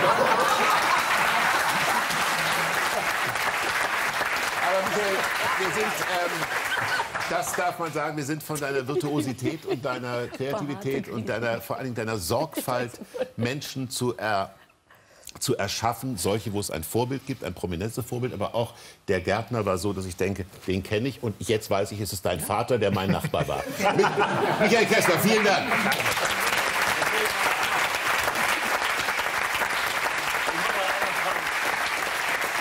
Das ist, ja, das ist ja in der Medizin ist es ja so, ich versuche ja Leute schnell abzuholen und du hast ja eigentlich nicht viel Zeit. Also du, da kommt jemand rein und du versuchst diesen Menschen ja aufzunehmen und ich sage ja immer, der wichtigste Mensch, den es gibt, ist der, der mir gegenüber sitzt und ich kenne die ja nicht. Wie viele Stunden musstest du denn sozusagen überhaupt erstmal Material sammeln, um diese, also die ganze Art aufzunehmen? Das ist schon ja ein nicht- langer Prozess. Also die prominenten Gäste begleiten mich über, ein, über mehrere Wochen, wo ich immer wieder Sachen gucke, aufschreibe.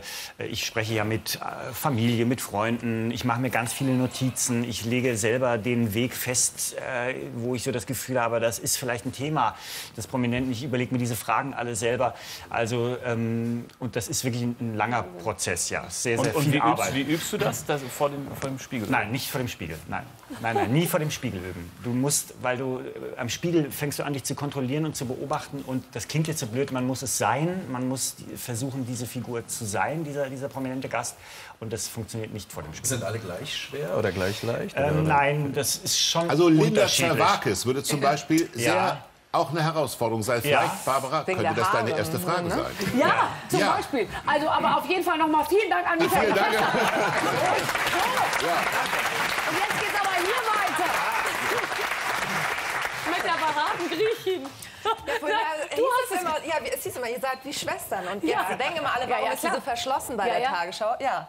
Ich rasiere nicht, ne? So, jetzt ist alles. So, nein, überhaupt nicht. Du bist Gott sei Dank das Gesicht der Tagesschau, ähm, auch in der Hauptausgabe um 20 Uhr. Und was das Allerdollste ist, du warst überhaupt noch nie in der NDR Talkshow. das- Linda ja. Zerwakis ist bei uns. Das gibt's doch gar nicht.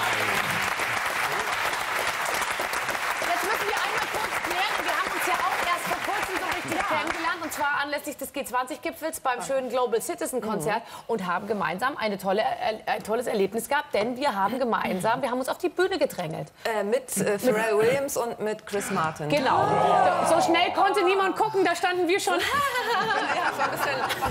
So, Barbara nimmt man das ab. Ich hatte danach natürlich so, ist das nicht die Tagesschausprecherin? Ist mir egal gewesen, weil ich bin Pharrell Williams-Fan. Ich war danach auch ein bisschen in Chris Martin verliebt. Total. Ich war in alle verliebt, die Ja. da aufgetreten Ja, ja. sind, ehrlicherweise. Und ich bin es auch noch immer. Und ich habe mich auch ein bisschen... in- G20-Gipfel irgendwie angenehm Ja. haben. Für uns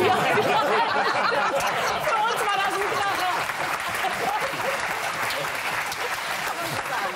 Ähm, Wie ist das denn? Ist das tatsächlich so, dass man das immer im Hinterkopf hat, dass man die Tagesschau-Sprecherin ist, die die, die die Nerven auf einer Party nicht verlieren darf, die nicht zu... Gehst du nach...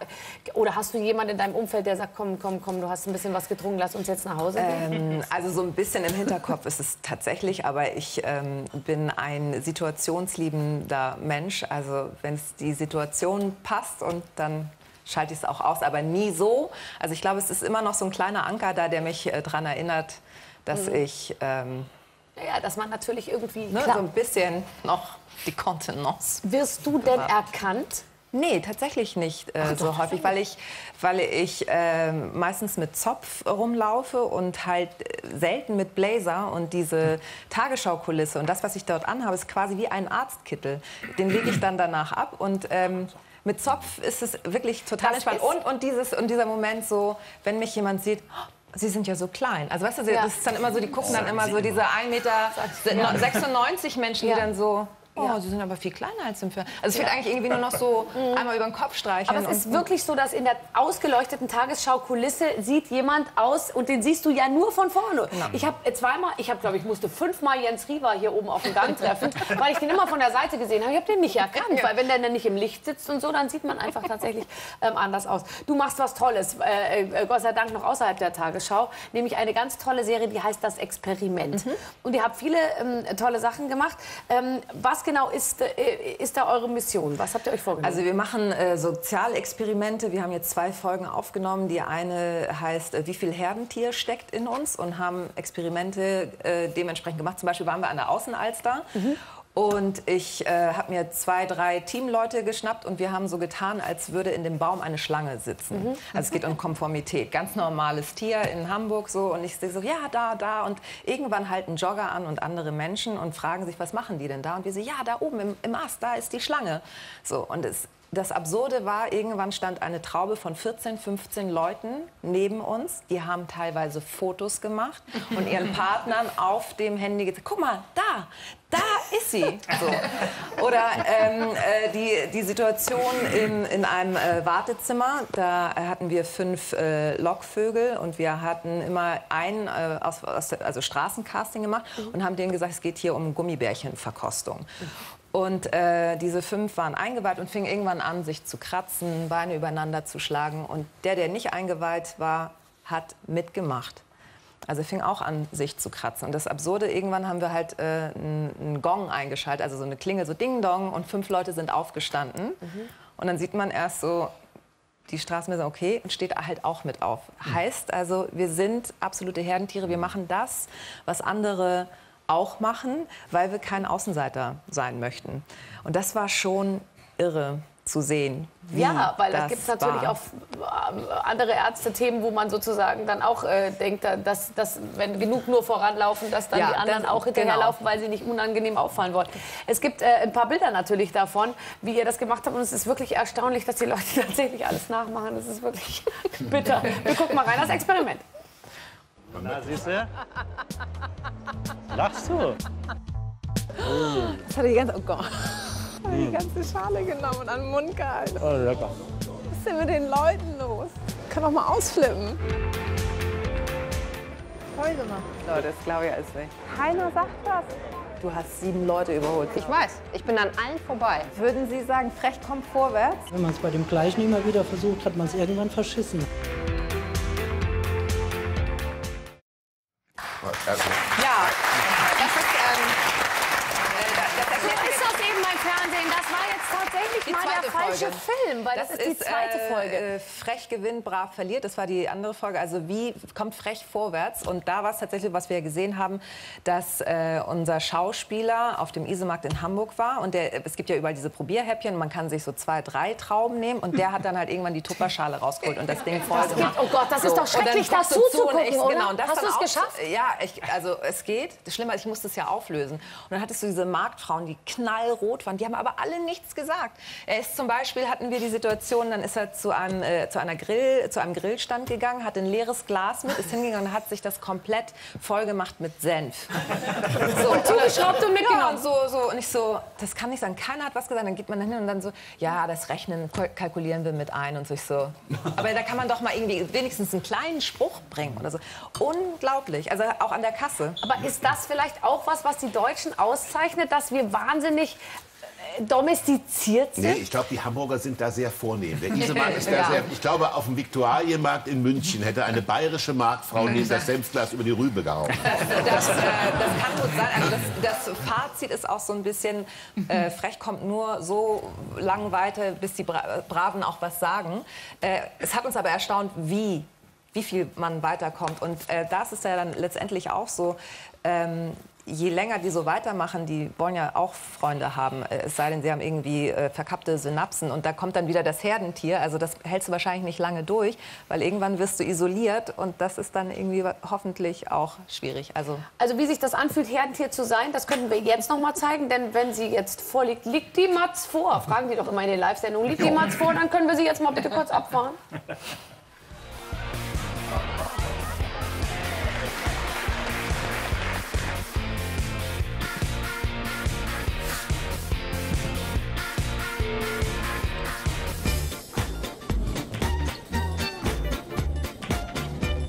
Was ein Quatsch, dass wir das jetzt hier machen. Aber es hätte ja auch sein können, dass da dann plötzlich ein Loch kommt.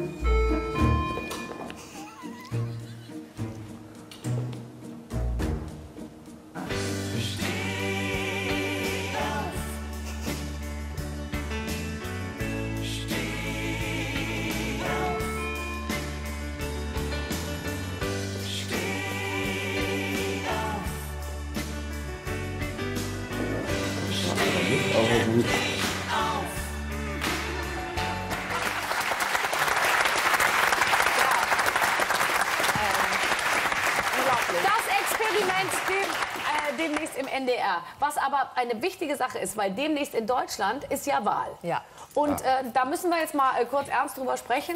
Denn wo liegt die durchschnittliche Wahlbeteiligung oder zumindest die bei der letzten Wahl? Hast du das Äh, Kopf? 71,5 Prozent, äh, also erschreckend niedrig, weil dann, wenn man das sozusagen so ausrechnet, ist es quasi nur die Hälfte äh, entscheidet oder es ist Wahl, also hat abgestimmt für 80 Millionen äh, Menschen in Deutschland. Und ähm, ich habe mit ein paar Werbern und Medienleuten eine Initiative gegründet, die nennt sich mit mir 90 Prozent in Anlehnung an die hohe Wahlbeteiligung in den 70er Jahren. Äh, um die Demokratie zu retten, tatsächlich. Äh, Ich bin Griechin, irgendwo muss es Ja, ja, natürlich. Ja, aber ich finde das äh, toll. Ich finde das super. Und, ähm,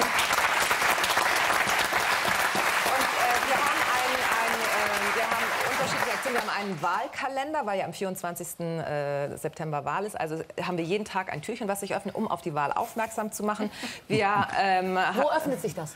auf äh, mit mir 90prozent.de und dann verbreitet sich das viral. Wir haben aber auch Anzeigen geschaltet. Das ist alles kostenlos. Also keiner Postkarten. bekommt- Genau, Edgar Postkarten. Wir haben 700.000 Stück gedruckt mit sieben Motiven. Das war ein Wettbewerb, wo man sich äh, bewerben konnte mit Motiven. Äh, Wir haben zum Beispiel eine Schule, es geht ja auch um Erstwähler, die, die ja sich überhaupt nicht damit beschäftigen. Denen ist einfach nur wichtig, dass sie WLAN haben und irgendwie ein Handy, was aufgeladen ist. Und wir haben zum Beispiel eine ähm, Schulwahl, also eine, eine Klassensprecherwahl ähm, gefilmt. Und mit anhand dessen denen quasi suggeriert, so fühlt es sich an zu wählen, damit die ein Gefühl dafür bekommen, was das eigentlich bedeutet. Also weil jeder, der wahlberechtigt ist, hat eine Stimme. Und wer die nicht wenn man die nicht abgibt, das ist so verschenkt. Man tut den einzelnen Parteien damit nichts, sondern man äh, mobilisiert eher radikale Ränder dadurch. Und das ist das äh, Problem. Und wir haben eine Aktion, die äh, parallel dazu läuft, Mach dein Kreuz, wo wir alle Menschen auffordern, äh, ihr Kreuz zu machen, wie auch immer. Äh, Das können wir auch alle hier machen, also hier alle in der Runde. Das dauert zehn Sekunden, ein Kreuz zu machen. Es hält vier Jahre, um einfach zu sagen, macht es. Macht das Richtige, macht äh, es weil richtig. da Also- steht auch auf einer der Karten sehr schön.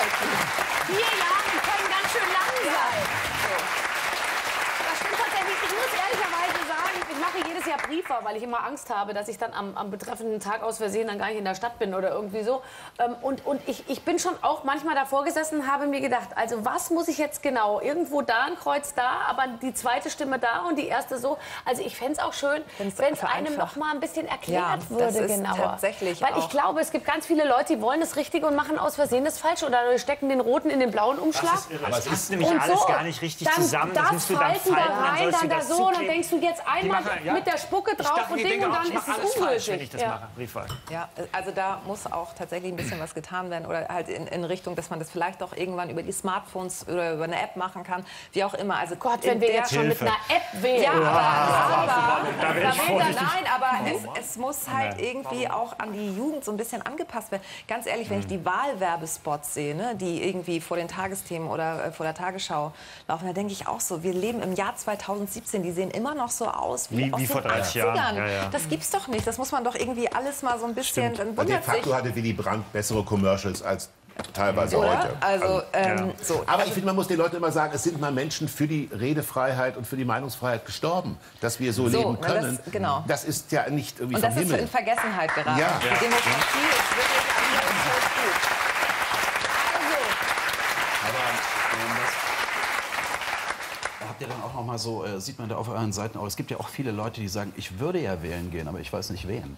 Ja, aber dann und- zumindest Und, Protestpartei gibt es ja auch. Es muss ja nichts Radikales sein. Man kann ja, es gibt ja tatsächlich auch ein paar lustige Parteien. Es geht wirklich darum, die Stimme abzugeben und die nicht zu verschenken, weil es, weil es einfach so aber wertvoll mit den ist. Lustigen Als ist ich sie in- auch fast verschenkt. Als ich in? Wien Also, gelebt habe, war ganz spannend zu sehen, dass viele Wiener weiß gewählt haben. Die haben den Wahlzettel unkenntlich gemacht und damit ihren Protestausdruck verleiht. Und das war tatsächlich äh, verliehen. Und damit haben, war das tatsächlich sozusagen eine substanzielle Quote, die erreicht wurde, wo die gesagt haben, ich will gar nichts, das passt für mich alles nicht. Aber ich war an der Urne. Ich war Das da. finde ich, sind wenigstens hingegangen. Und war das dann ungültige Stimme? oder wie Ungültig, ja. Aber Ja, die, wurde ja, die hatten tatsächlich einen gewissen Prozentsatz erreicht. Und das ist schon enorm, dass man sagt, die sind so unzufrieden, aber gehen hin und machen wirklich, also geben sich die Mühe und sagen, ich bin politisch aktiv. Und wenn man, wenn man als Ungültige sozusagen ja dann gewählt wird, ist man dann, wie geht das dann? Ist man dann in der Nee, Regierung? die machen ja gar nicht, die machen so, die, die, die malen dir was drauf. Die, die schreiben vielleicht so Jan Josef. Es ist. Österreich, ich meine. Das Ja. ist Es ist alles möglich in Österreich.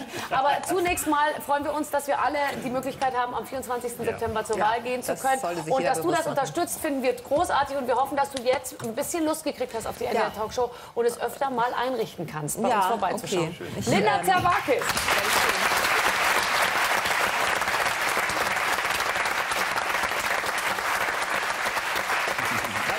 Ein Leben, ein Leben ohne Smartphone, das ist äh, heute kaum noch vorstellbar. Und vor 30 Jahren war es nichts anderes als eine reine Zukunftsvision, wie die Welt aussehen könnte. In der Zukunft, welche Rolle wir in dieser digitalen Welt überhaupt noch spielen. Spielen wir überhaupt noch eine Rolle in der digitalen Welt? Darüber macht sich der Physiker und Kabarettist, ein wunderbarer Mann, Vince Ebert, Gedanken. Und wir freuen uns, dass er heute Abend mal wieder bei uns ist. Herzlich willkommen, Vince.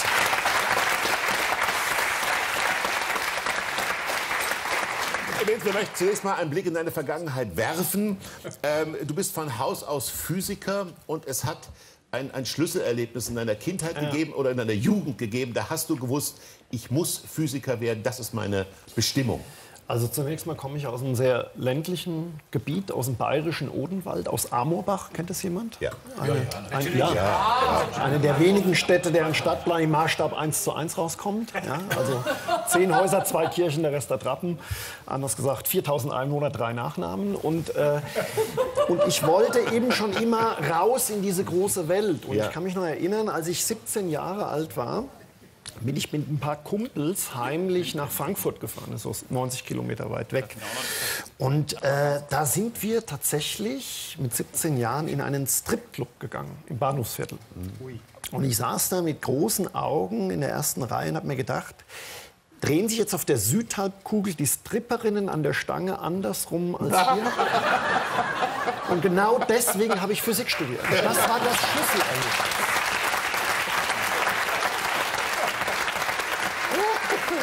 Ist schön. Zukunft is a Future. Das Ja. ist der Titel des Programms. Ja. Zukunft is a Future. Ähm, wie, wie werden wir denn in 20, 50, 100 Jahren leben? Kann man, kann, man, kann man auf diese Frage überhaupt als Physiker etwas Fundiertes sagen? Also Prognosen in die Zukunft, da kann man sich ja wirklich in die Nesseln setzen. Das haben ja auch viele Experten schon. Also wir denken, dass es einen Weltmarkt für vielleicht fünf Computer gibt, hat IBM in den 40er Jahren gesagt. Wer zum Teufel will Schauspieler sprechen hören? Warner Brothers. Ja? Lolita und ich bleiben für immer zusammen, Lothar Matthäus. Also das ist...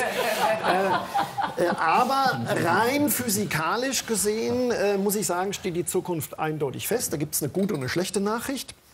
Die schlechte, der zweite Hauptsatz der Thermodynamik besagt, dass es mit unserem Universum unaufhaltsam bergab geht. Ja. Und spätestens seit Rammstein von Heino gecovert wurde, ist das auch jedem klar. äh, allerdings besagt der dritte Hauptsatz der Thermodynamik, du kannst den absoluten Nullpunkt niemals erreichen. Und das macht Mut. Egal wie beschissen es dir geht, es ist immer noch Luft nach unten. Ja, das ist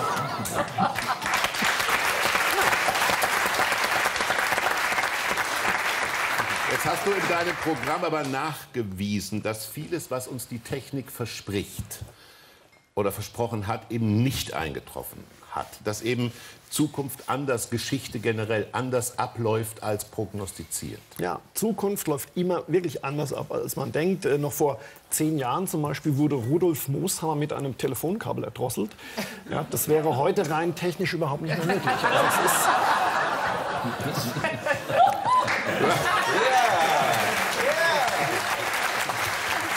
Du hast jetzt gerade. Du hast gerade, du hast gerade Amorbach. Ich habe gar nicht gewusst, dass Amorbach, es ist im bayerischen Es gibt einen aber so Teil vom Zipfel ist das Ja, ja, genau, so der letzte Schwanz vom Löwen. Ähm, äh, wie, wie hast du denn als Zehnjähriger in Amorbach die Zukunft vorgestellt?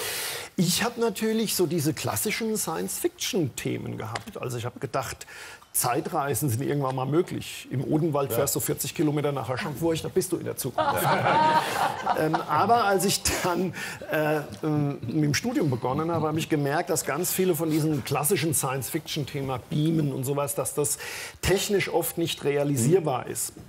Also wir alle kennen den Film Illuminati. Ja, der erzeugt ja am CERN eine attraktive Teilchenphysikerin so viel Antimaterie, dass man damit ganze Großstädte auslöschen kann. Und das ist natürlich äh, wissenschaftlich gesehen vollkommener Quatsch. Ich habe zwölf Semester Physik studiert, aber noch nie eine so attraktive Teilchenphysikerin gesehen. Also ist, vieles ist nicht möglich. Jetzt ist es unbestreitbar, die Digitalisierung bestimmt unser Leben mehr und mehr und vor allen Dingen auch den Alltag. Ja. Äh, Jetzt ist eine unweigerliche Folge, dass Unternehmen immer mehr auch Daten von uns sammeln. Ja, mit, auf welchen, jeden Fall. mit welchen Folgen? Also das ist jetzt schon, da ist jetzt schon Gespenstisches möglich. Also äh, Walmart, diese Handelsriese, die sammeln seit Jahren Kundendaten und die können inzwischen, ist kein Witz, aus dem veränderten Kaufverhalten von jungen Frauen erkennen, ob diese Frauen schwanger sind. Und zwar früher, als den Frauen selbst bewusst ist. Ach, wie geht das? Ja. Wenn die dann eben unterschiedliche Sachen kaufen, Ja. also Gurken oder irgendwas, dann, Ja. dann, dann, dann weiß dieser Algorithmus, die sind schwanger. Und das macht mir persönlich ein mulmiges Gefühl. Ah, Deswegen doch. schlage ich seit einiger Zeit zurück und kaufe einmal die Woche im Supermarkt Produkte, die überhaupt nicht zusammenpassen. Ja, also eine Flasche Weizenkorn, zwei Rollen Zahnseide und die Emma. Ja? Dann stelle ich mir vor, wie diese Datenbankexperten von Rewe vollkommen verwirrt auf diese bizarre Einkaufsliste starren. Was zum Teufel ist das für ein Konsument? In welches soziodemografische Cluster gehört der? Ist der vielleicht sogar schwanger? Man weiß es nicht. Ja, Josef, macht dir das Angst, dass deine Daten gesammelt werden? Zunehmend? Ist das für dich ein... Ich finde es schon, also ich finde es schon äh, erstaunlich. Vor allem, mich, mich würde erstmal noch nicht so sehr das Sammeln stören, aber äh, was, mir, was mir schon, ähm, worüber ich mir Gedanken mache, ist, was passiert damit und wer wertet die aus? Und was kommt dabei raus? Also das ist ja heute, heute funktioniert das ja zum großen Teil noch auf eine sehr äh, missglückte Art und Weise. Also du kaufst einmal, erkundigst du dich im Internet nach Waschmaschinen und dann siehst du die nächsten drei Monate, egal was du guckst, irgendwie immer Waschmaschinen. So als würde man jeden Tag eine Waschmaschine kaufen wollen. Das ist irgendwie noch so ein bisschen schwachsinnig, ne? aber ich glaube, das wird besser werden und komplizierter werden. Und irgendwann, ich bin ja dafür, eine Suchmaschine zu erfinden, die alles findet, was du nicht suchst. Super. Idee. So wie im richtigen Leben, weil, weil du, du kriegst ja dann irgendwann nur noch, du bestellst Joghurt und, und was weiß ich, ein, eine Gartenschaufel und dann denkt der Algorithmus, du, du magst auch andere Menschen, die Joghurt und Gartenschaufeln mögen und das ist der Ausschnitt der Welt, der dir zukünftig immer nur noch äh, äh, eingespielt wird. Und du denkst, die ganze Welt mag Joghurt und Gartenschaufeln. Ich bin glücklich, das ist eine schöne Welt, in der ich lebe. Und ich finde, man muss sagen, wenn man sagt, ich will ein Hotel in Paris, dann müsste die Suchmaschine alles andere ausspucken, bloß kein Hotel in Paris. Und damit man mal wieder was Neues, äh, was, was äh, sieht, womit man nicht gerechnet hätte. Besteht denn in naher oder auch in ferner Zukunft die Gefahr, dass Computer intelligenter werden als wir Menschen und die Kontrolle über uns auch dann letztlich übernehmen? Naja, das war ja schon einmal in Amerika war das schon mal der Fall. Da wurde Kalifornien acht Jahre lang von einem Terminator T800 regiert. Das ist, und, und es könnte auch bei uns in Deutschland kommen. Äh, äh, sind euch schon mal diese ruckartigen Bewegungen von Klaus Kleber im Heute-Journal aufgefallen? Noch nicht. Ich persönlich glaube, das ist kein Mensch, das ist ein Avatar, der auf einem alten Betriebssystem von Florian Silbereisen läuft. Aber ich weiß es. Das ist immer so. Das ist Aber du, du, du, du hast ja durchaus auch eine optimistische Vision. Du sagst, dass am Ende äh, auf die Frage, wie intelligent kann der Mensch sein, dass er dem Computer immer überlegen ist. Warum? Was macht dich da so? Also diese Systeme, die können zwar mittlerweile lernen, aber sie verstehen nicht, was sie lernen. Ja. Und das ist eine typisch menschliche Eigenschaft. Also bis zum heutigen Tag versteht tatsächlich kein Computer eine einfache Kindergeschichte, die man ihm vorliest. Prozessoren wissen auch nicht, dass man zum Beispiel nach dem Tod nicht mehr zurückkommt. Oder ganz banal, dass man mit einem Bindfaden ziehen kann, aber nicht schieben. Eine simple Fruchtfliege hat kaum mehr als 100.000 Neuronen. Das ist ein Bruchteil der Rechnerkapazität von einem iPhone. Aber damit kann sie problemlos in drei Dimensionen navigieren, Looping-Manöver durchführen und unseren Hausmüll in einen Zwingerclub verwandeln.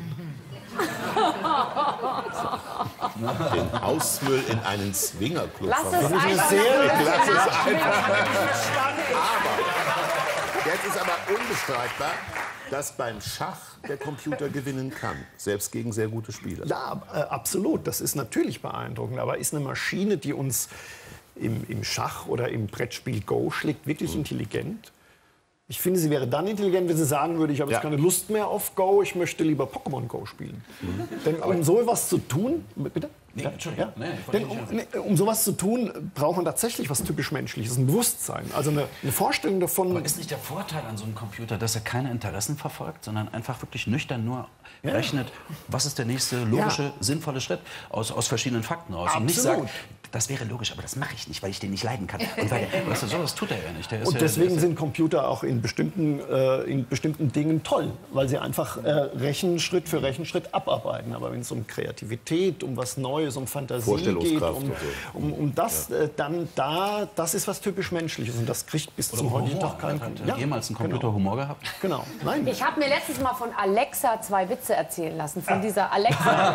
Alexa, erzähl mir einen Witz. Das war ein Zwei super- so derartig schlechte Witze hat die mir erzählt. Da war ich fast sauer. Echt. Nee, wirklich. Nachhaltigkeit ist ja ein großes Thema, was, was die Diskussion Ja, ja, ja. als Schlagwort. Äh, gehen wir denn mit Nachhaltigkeit, wenn wir über Zukunft sprechen, in eine, in eine, in eine sichere Zukunft? Ist das Ja, ich bin so ein bisschen bei diesem Begriff Nachhaltigkeit, das wird ja immer so, so, so, so, so missverständlich benutzt. Also wir in unserem Kulturkreis gehen davon aus, dass wir immer mehr verzichten, reduzieren müssen, dass wir nachhaltig leben müssen. Äh, Deswegen träumen wir ja auch von einem ökologisch korrekten Leben. Ja. Vorsicht, der Torben greift in die Steckdose. Ach, macht nichts, ist Ökostrom. ne? Also so diese Geschichte. Ja. Und, und ich meine, und da haben wir tatsächlich wirklich viel geschafft. Das muss man jetzt auch mal sagen. Also äh, bin neulich mit dem ICE gefahren, da haben mir diesen Tarif Umwelt Plus angeboten. Damit können Sie von Frankfurt nach Berlin mit Ökostrom fahren. Ohne diesen Tarif mit normalem Strom. Und das finde ich beeindruckend. Die Deutsche Bahn hat das geschafft, die Stromversorgung in dem ICE so zu individualisieren, dass jeder Reisende abhängig von seinem Tarif seinen eigenen Strom bekommt. Das ist. Ingenieurskunst. Das ist Sensation. deutsche Ingenieurskunst. Ist das so?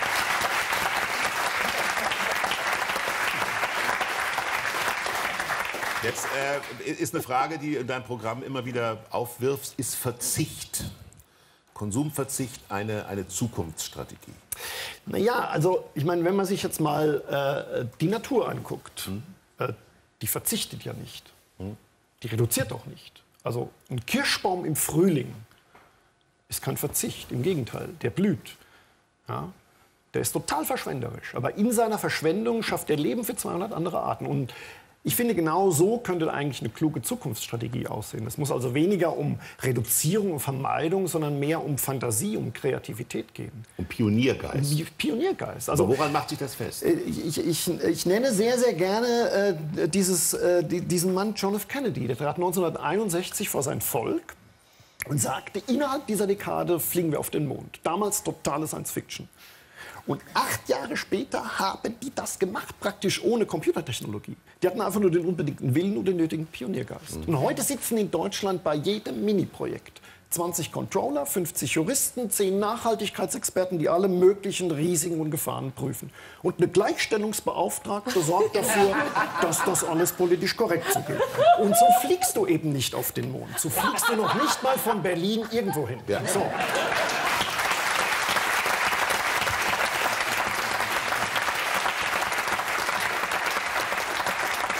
Jetzt hat ja Jan-Josef Liefers gerade richtig gesagt, der Computer macht nichts anderes, als im Grunde den nächsten Schritt zu bewältigen, Ja. den, man ihm, den man ihm eingibt. Und da macht er ja im Regelfall keine Fehler. Der Mensch macht aber schon Fehler. Absolut. Ist das ein, ist das ein Manko in der Zukunft, also in der Bewältigung der Es Zukunft? ist ein totaler Vorteil, finde ich. Also wenn man zum Beispiel äh, große wissenschaftliche Erfindungen sind oft das Ergebnis von Fehlern gewesen. Porzellan wurde erfunden, weil die Alchemisten eigentlich Gold herstellen wollten. Tesafilm sollte Heftpflaster werden. Viagra wurde entdeckt, weil männliche Versuchspersonen Herzmedikamente in der Testphase partout nicht mehr absetzen wollten. Also der wissenschaftliche Beweis der Wiederauferstehung sozusagen. Ja. Ähm, und ich denke eben, äh, ich glaube, Wittgenstein hat mal gesagt, äh, wenn, wenn der Mensch nie etwas Bescheuertes gedacht hätte, wäre auch nichts Vernünftiges entstanden. Vielleicht war es auch Dieter Bohlen, ich weiß es nicht. Aber, äh, und da ist was dran. Wir sind deswegen so erfolgreich, weil wir ausprobieren, weil wir Fehler machen, äh, Fehler korrigieren und dadurch auf neue Ideen kommen. Was sind deine. Woody Allen, Woody Allen hat, glaube ich, gesagt, Zukunftsplanung ist das Ersetzen des Zufalls durch Irrtum. Das Genau. ist auch schön. Was sind deine ganz persönlichen Zukunftspläne, Vince? Ähm, ich werde äh, in zwei Jahren ein Jahr nach Amerika gehen mit meiner Frau. Doch, ja. Äh, weil am Anfang war das eher so eine Idee, ich mache mal ein Sabbatical. Ja. Und dann habe ich mir gedacht, Mensch, ich beackere dieses Thema Wissenschaft auf Deutsch. Das könnte doch eigentlich auch ein internationales Thema Michael sein. Mittermeier hat das Michael gemacht. Mittermeier Genau. macht das. Ich halte mittlerweile schon relativ so, so Firmenvorträge, halte ich schon auf Englisch. Und ich war vor drei Wochen äh, in Schottland, in Edinburgh, auf dem Fringe Festival Mhm. und habe da in einem kleinen Club äh, fünf Tage am Abend äh, ähm, Comedy auf Englisch gemacht. Und ich habe mir in die Hosen gemacht vor Angst, aber das hat super funktioniert. Äh, Ich bin jetzt richtig angefixt und ich will einfach sehen in Amerika. Ich, ich träume da jetzt nicht von einer großen Karriere, Vegas, aber da, ja, genau.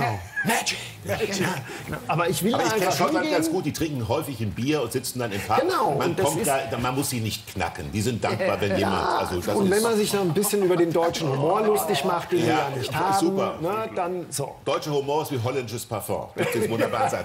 Also, wenn du wieder da bist, äh, dann erzählst du uns von deinem. Absolut. Von, das würde uns sehr freuen. Vince Ebert ist da, meine Damen und Herren.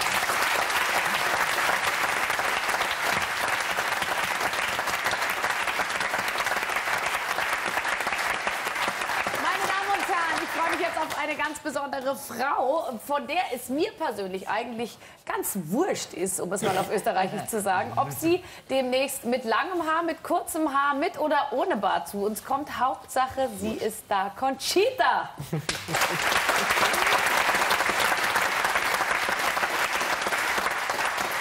Wir haben es ja gerade eben schon ein bisschen besprochen, weil Michael hat gesagt, es war schwieriger in der Arbeit oder komplizierter in der Annäherung an dich in seinem Projekt, weil er es mit einer Kunstfigur ähm, zu tun hatte. Was ich übrigens total verstehen kann. Wir haben auch manchmal, wenn du, es gibt so eine Art von Kunstfiguren, da weiß man immer nicht wirklich mit, du bist ja eine authentische Kunstfigur eigentlich. Aber trotzdem äh, habe ich das Gefühl, du bist, ähm, du willst der Authentizität oder der, äh, ja, der Authentizität ein bisschen näher kommen.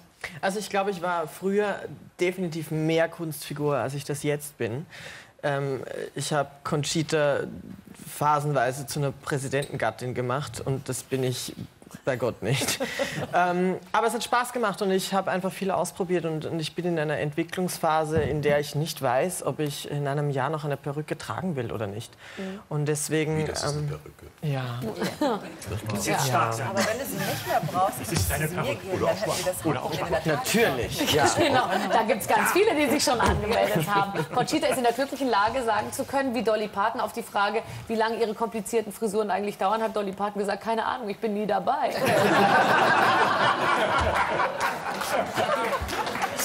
ähm, ich glaube, ähm, Kunstfigur sein ist wahrscheinlich manchmal anstrengend, oder? Ah, es war extrem anstrengend. Also Ich sage war, weil ich definitiv jetzt äh, ähm, in vielem authentischer bin, als ich das vielleicht vor, vor zwei Jahren noch, noch gesagt oder getan hätte. Ähm, es hat aber auch Spaß gemacht. Also es hat, es, es, hat mir, es hat mir sehr, sehr viel über das Frausein gelernt. Also vor allem auch in Situationen zu kommen, wo ich merke, ach, der Patriarchat, äh, der ist immer noch knallhart vertreten. Also ich, ich selbst habe, habe ja aus freien Stücken irgendwie High Heels getragen, ein Mieder, enge Kleider, meine männlichen Geschlechtsorgane hingeklebt, wo man sie nicht hinkleben sollte, ähm, um eine Illusion aufrechtzuerhalten. Und ich war mit sehr, sehr vielen talentierten, äh, wunderschönen, intelligenten Frauen, äh, wie soll ich arbeiten, verbunden. Und dann merkt man, merkt man auf irgendeine absurde Art und Weise, wie man trotzdem anders behandelt wird. Und ich dann merke, ach ja, ich bin ja eigentlich noch ein weißer Mann. Und so sehen mich dann Regisseure oder Choreografen und, und, und die daneben stehenden Tänzer, Tänzerinnen, die weitaus talentierter sind als ich, ähm, werden dann einfach anders behandelt. Und das ist schon... Das ist wirklich interessant. Ja, das war mir auch nicht bewusst. Also bin ja auch nicht in das reingegangen, um jetzt die Frauen zu studieren oder unsere Gesellschaft. Aber das ist schon sehr spannend, wie viel ich da mitnehmen konnte aus eigentlich äh, einem Satz, der lautete, ich bin zu faul, mich zu rasieren. Und so ist Conchita entstanden vor einiger Zeit. Und dafür sind wir ja auch ganz dankbar. Und wir gehen den ganzen Weg einfach mit. Mal gucken, wo er endet. Hast du schon eine Ahnung, wo, wo, wo das am Ende rauskommt? Und hast du, äh, ich glaube, du machst es doch ganz gut, weil ich, ich ehrlich gesagt, ich würde jetzt gar nicht so eine wahnsinnige Veränderung merken, weil du bist ja immer noch äh, die, die wir auch erwarten. Ich glaube, da passiert ja viel im Inneren. Kriegen das die Leute von außen überhaupt so mit? Doch, ich merke schon, dass ich immer wieder Erwartungshaltungen enttäusche. Also viele, viele kommen dann, ach, die hat kein Kleid an. Ach so, okay. Oh, Also keine es- hohen es- Schuhe, Moment. Ach so, ach Ja, so. und das sind eben so Dinge, die... Ja gut, aber du bist jetzt immer noch kein Kerl. also, wenn ich das sagen darf. also, Ja, aber, du, aber die Veränderung vollziehst du langsam. Ja. Das ist- Also das ist ja auch kein Plan, um ehrlich Ja, ja. zu sein. Das passiert einfach so. Und äh, ich, ich habe mich ja vielen Dingen entledigt, die mich mittlerweile stören würden oder einschränken würden. Und, und ich lasse mich von nicht zu niemanden einschränken. Ist, bist du, ja, äh, hast du, ja? Mir fällt nur gerade an, wir haben mal einen, äh, es gab mal einen Tatort, der hieß Zwischen den Ohren. Und da ging es darum, wo entsteht Geschlecht eigentlich. Weil wir, Deutschland war eines der wenigen Länder weltweit, äh, das Menschen vorgeschrieben hat, dass sie, selbst wenn sie mit beiden äh, Geschlechtsmerkmalen äh, zur Welt kommen, sich Mhm. irgendwann zu entscheiden haben, was sie sein wollen. Es gibt Länder, da wird ganz selbstverständlich ein drittes äh, Geschlecht akzeptiert sozusagen. Mhm. Und, ähm, und da ging es darum, wo entsteht das überhaupt eigentlich? Ja? Äh, Zwischen den Beinen oder zwischen den Ohren und im, im Kopf? Würdest du das bestätigen? Ja, definitiv. Definitiv. Aber du bist dir ja ganz sicher, welches Geschlecht Ich bin mir ganz sicher, ich bin wahnsinnig gerne ein schwuler Mann, ja. Das macht mir sehr viel Spaß. Daran wird sich doch auch nichts ändern, Nein. oder? Mhm. Okay, gut, jetzt fange ich an, mir Sorgen zu machen sonst. Ähm, du äh, bist, wie ist das, wenn man als Conchita in dieser Rolle äh, auch angeflirtet wird von, von Männern? Also hast du dich da wohlgefühlt? Warst du ein Sexu bist du eine sexuelle Conchita oder ist das sozusagen geschlechtslos? Ähm, ich habe und flirte immer noch wahnsinnig gerne. Mhm. Und als Conchita fällt mir das wesentlich leichter. ähm, ich, wie soll ich sagen, wenn ich von Männern angeflirtet wurde, habe ich das sehr genossen. Wenn ich von Frauen angeflirtet wurde, das hat mich immer irgendwie, das war befremdlich.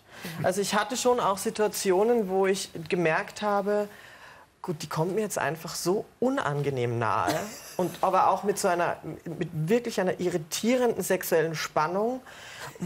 Ja, ich kenne das von mir auch. Das, Ja. das passiert ja auch. Das passiert mir wirklich. Das, Entschuldigung, aber. Also das war dann wirklich ernsthaft eine unangenehme Situation. Aber mit Männern flirte ich wahnsinnig gerne. Okay, gut, also dass wir das auch klarstellen an der Ja, Stelle. bitte, ne? Nicht, dass man unbedingt. sich jetzt da künstlich zurückhält. ähm, weil, äh, man kommt allerdings auch, muss ich ehrlich sagen, als Frau natürlich wahnsinnig ins Schwärmen, wenn man dich sieht, wenn man dich vor allem auf der Bühne sieht. Mit welchem Gefühl betrittst du eine Bühne? Ist das, es gibt ja die unterschiedlichsten Arten von Menschen, ähm, die auf Bühnen gehen. Die, haben, die einen haben Panik, die nächsten haben Angst, die anderen wollen, ich bin immer so, ich will sharp so mit den Hufen, ich will dann eigentlich auch raus. Zu welchem gehörst du? Ich hatte immer so ein bisschen, ähm, ich bin immer so ein bisschen in der Situation, dass ich mich beweisen muss. Also vor allem nicht mal wirklich, wenn man mich dann schon länger kennt, auch wie in Österreich, wo die auch wissen, wer ich bin und was ich mache. Aber ich bin schon immer wieder habe das Gefühl, ich muss immer so ein extra Schäufchen drauflegen und ich muss immer so extra gut sein oder extra lustig. Ähm, was in mir eine wahnsinnige Motivation hervorruft und Mhm. eine Gier auf der Bühne zu sein, weil ich weiß, dass ich das kann. Und deswegen genieße ich es sehr, auf der Bühne zu stehen, weil das ist so, für mich so ein bisschen der Ansporn von wegen, und dir zeige ich es jetzt auch noch. Ähm, bist du, woran denkst du, wenn du, wenn du, wenn du singst? Bist du, bist du immer ganz bei der Sache? Ähm, jein. Also es gibt Songs, die catchen mich zu 100 Prozent und, und da erzähle ich wirklich diese Geschichte. Manche Lieder sind äh, ein technischer Ablauf. Ja, gell, dann denkt man, ich habe manchmal so bei manchen Liedern in so Konzerten mir gedacht, ich glaube, ich habe keine Butter gehen mehr. Butter? Ja, Ja. wirklich. Echt? Und es ist dann lustig, weil man Also fast bei der anfängt zu lachen. Machen man so ein Nein, das würdest du nicht tun, Linda. Nein. Alle fünf Minuten in meinem Leben frage ich mich, was würde Barbara jetzt tun? Jetzt erzählst du sowas. Sowas, ja, ja. Ja, doch, manchmal habe ich an die, also ans Frühstück so gedacht, halt. also hauptsächlich Essensthemen eigentlich. Aber Und, und die Leute gehen mit und du singst und du denkst, ja, hm, Bacon and Eggs. ähm, wo, äh, wo du definitiv komplett bei der Sache bist und auch total gecatcht bist, ist bei deinem Auftritt in Sydney. Wie könnte man sich auch anders verhalten als so, wie du es getan hast? Du hast, bist in dem großartigen Opernhaus in Sydney aufgetreten, was, was wirklich bombastisch ist. Und wir haben davon ein paar Bilder. Es ist wirklich toll.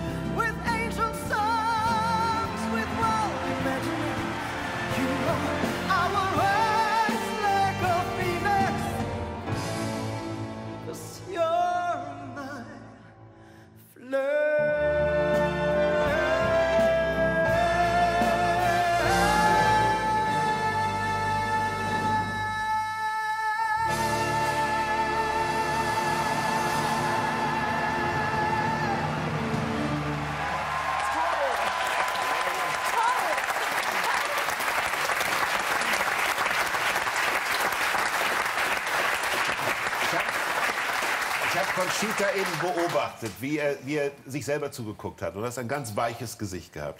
Gibt es Momente, wenn du da stehst in der Oper in Sydney und du weißt, wo du herkommst und du weißt, was du auch durchlitten hast in einem kleinen österreichischen Dorf, wo du eine, einfach einen wahnsinnigen Stolz hast und eine Genugtuung, das habe ich geschafft.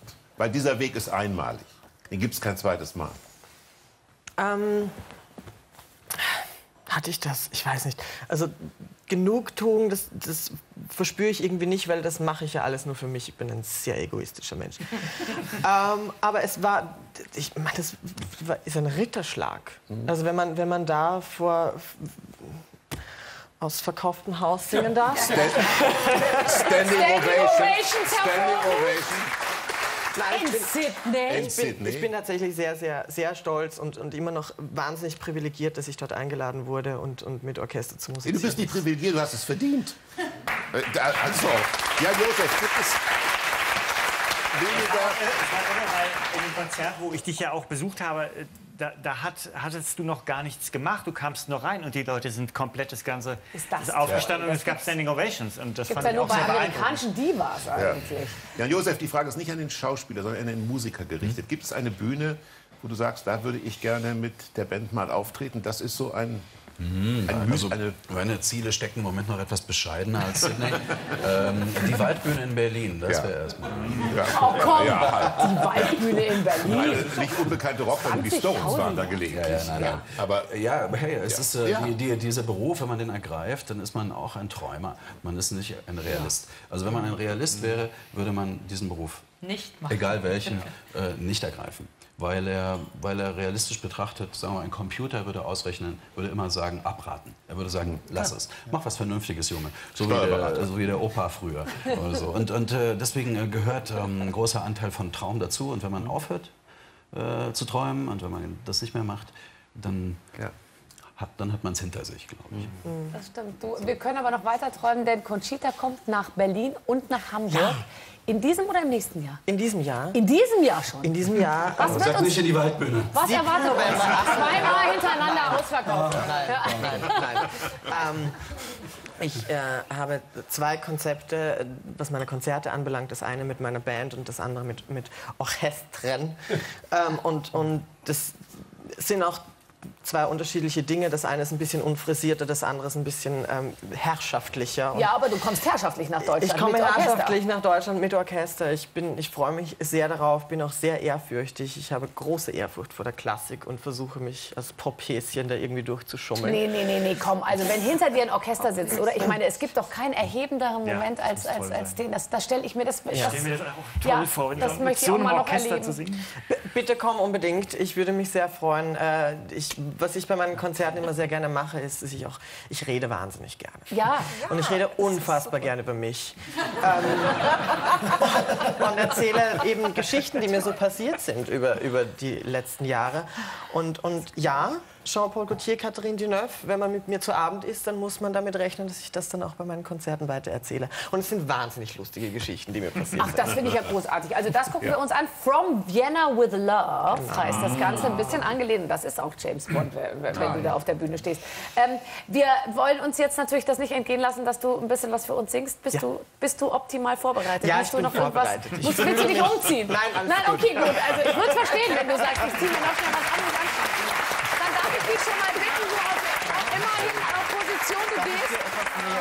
Und wir freuen uns auf eine ganz, ganz spezielle Version von äh, Rise Like a Phoenix, ähm, was dich äh, 2014 zum Weltstar gemacht hat. Du hast deinen Gitarristen mitgebracht. Severin Druckbacher. Und wir freuen uns schon jetzt auf die Konzerte in Berlin und Hamburg. Conchita.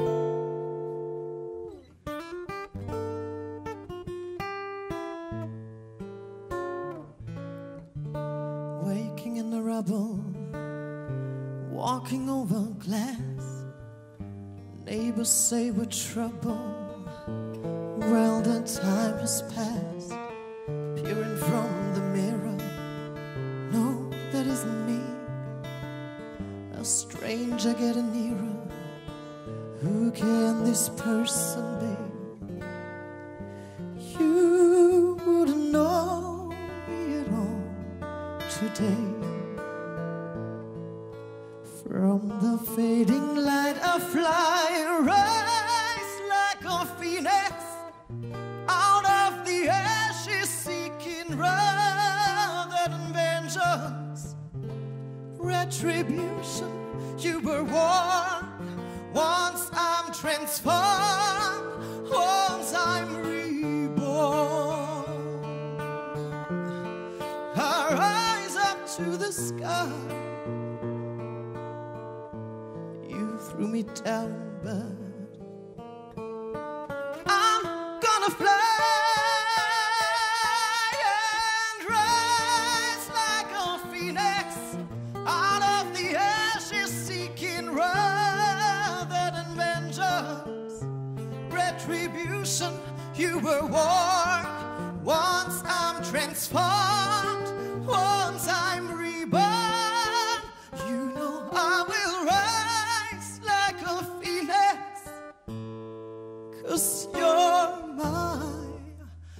äh,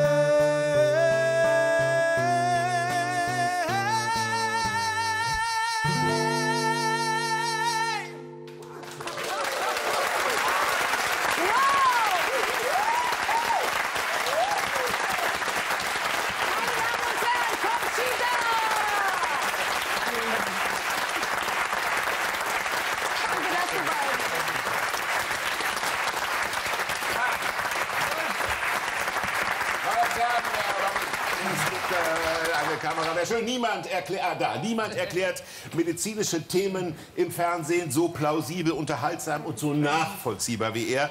Im, Inter gibt, äh, im Internet äh, erreichen seine Ratgebervideos alle Rekorde im NDR-Fernsehen, gibt er eigenen Sendungen regelmäßig Tipps und jetzt sogar in Quizform. Die gute alte Quizform. Wir freuen uns, begrüßen Sie den einzigartigen. Barbara ist ein Fan von ihm. Ist Ja. das Ihnen jetzt peinlich? Ist das solltet ihr zu denken zugeben. Aber Barbara ist ein großer Fan von Dr. Johannes Wimmer, meine Damen und Herren.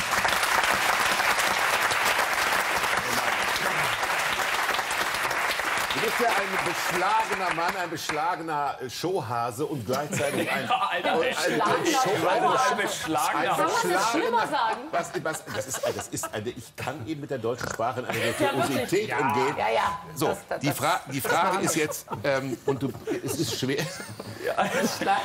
Ähm, gab es, gab es äh, für dich als Arzt in diesem Quiz irgendetwas, was du nicht gewusst hast, was du dazu gelernt hast? Doch, ja, reichlich. Das sind ja Fragen, die man auch manchmal stellt, wo man sich selber denkt, das lernst du nicht an der Uni. Das ist einfach auch mal richtig nettes Nebenbeiwissen, wo man sich denkt, das braucht eigentlich kein Schwein. Aber es ist im Quiz natürlich genau richtig aufgehoben. Wir haben aber den Fokus schon darauf gelegt, dass man sagt, was sind also die Dinge, die wirklich Menschen interessieren, weil es auch jeden ereilen kann. Und auch so ein bisschen, ich, ich mache das ja nicht wegen der Show, sondern ich möchte ja Menschen erreichen und ihnen Gesundheitswissen vermitteln. Ja. Was müssen die Leute eigentlich Das ist ja eine wunderbare Idee. Also Medizin und Quiz zu vermählen, ist ja eine wunderbare Idee. Das äh, startet am Mittwoch. Ja. Dein Quiz. Es heißt Dr. Wimmers Medizinquiz. Muss doch nicht eigentlich dauernd einmischen. hier. Ja, Michael, sag noch mal was. Äh, und, zwei, und zwei Teams ge treten gegeneinander Ja, an. es ist herrlich. Also es sind zwei Zweierteams und äh, die müssen dann gegeneinander antreten in diversen Kategorien. Ähm, das Grandioseste ist am Anfang direkt, dass echte Patienten in die Show kommen. Also Menschen, die wirklich das Problem hatten. Und die schildern ganz kurz, was ihr Problem ist und dürfen nur mit Ja oder Nein antworten. Also Realbedingungen äh, wie in einer Notaufnahme oder in der Praxis. Für vier Patienten hat man zweieinhalb Minuten Zeit. Ja. Das Wo- schafft jeder wohl gute Orthopäde. Kassenpatient ist, Ja. genau. Und ja, ja, die Kassenschweine werden so durchgeschrubbt und dann hat man halt Herr Dr. Wimmer, mit solchen Äußerungen Michael, bist du Kasse? Ja, ich bin du, Kasse so. ja. Also für dich habe ich Du wirst 25 Sekunden. Ich werde durchgeschrubbt. So, und dann hat man halt eben, es ist erstaunlich, es ist erstaunlich, wie das, das Fachwissen, das medizinische Fachwissen der Norddeutschen ist überragend. Ja, das glaube ich. Wer, wer, du, die Bühne ist, ist deine. Gib uns doch mal einen Und wir Eindruck. quizzen. Ja, quiz doch mal. Hau doch mal, äh, geh doch mal los. Au. Au. Ich habe für jeden eine Frage. Ja. Didididim.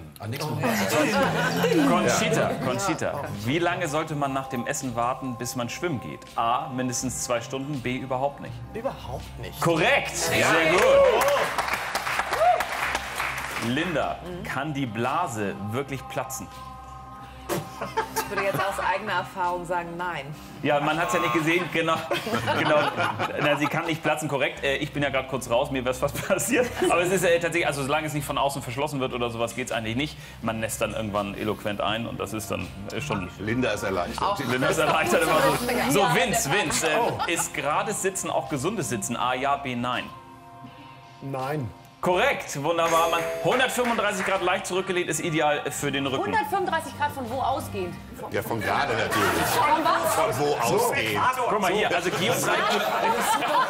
Also, also wenn das dein Geodreieck wäre, dann legst du es so hin und dann sind das, sind das 135 Grad. Ach so, das Ja, aber komm, du bist jetzt- aber mal bei 135 Was ist denn das für ein Job, den ich im 135 Grad Das erledigen weiß ich nicht, das musst du mir sagen. Nichts auf dem Amt auf jeden Fall. Jan Josef, äh, kann Onanieren Prostatakrebs vorbeugen? Ja oder nein? Verhindern oder machen? Vorbeugen. Ich würde jetzt einfach aus sozialen und gesellschaftlichen Gründen sagen, ja. Ist korrekt, ist korrekt. Das ist eine Studie 2003. Da wurden wirklich zig Menschen untersucht über 70 Jahre und Onanieren hilft. Die Australier haben gesagt, die Röhre putzen. Das ist ganz hervorragend. Das sag jetzt nicht, wer es war gesagt. Also, also man muss nicht onanieren, es zählt jede Art von Geschlechtsverkehr. Ach schau, Mit das sich, ist ja eine. mit sich selbst oder mit anderen, genau. Äh, Es gibt ja auch Leute, die, die sagen, man kann nur guten Sex mit anderen haben, wenn man ihn auch mit sich selber haben kann. Ja, das ja, So, äh, Adrienne, äh, die eigenen Popel zu essen ist A, gesund, B, schädlich. Oh, sicherlich nicht schädlich. Wunderbar, Mensch. Das, äh, also Warum es ist das gesund? Weil wir doch heute hier, alles ist sauber und geputzt, gar keine Antigenvielfalt mehr. So ein Popel, der boostet das Immunsystem. Da brauchst du gar keinen Ja. Smoothie trinken. Zack, ein bisschen Popelfutter.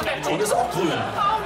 Also, naja, äh, Jan, du, du, das, es gibt eine Riesenstudie, dass Allergien bei Kindern, die in der DDR aufgewachsen sind, deutlich geringer ausgeprägt sind als in Westdeutschland, weil halt eben einfach dort mehr draußen Weil ihr die ganze Zeit noch getrunken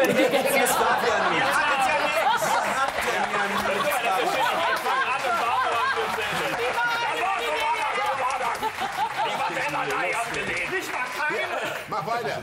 So, mach weiter. Also, mach weiter. Äh, Magi und Bill, äh, was Ja. ist gesünder? Nase hochziehen oder Nase kräftig schneuzen? Kräftig schneuzen. Nein. Nein. Nein. Ah. Damit donnerst du ja den ganzen Krempel in die Nasennebenhöhlen.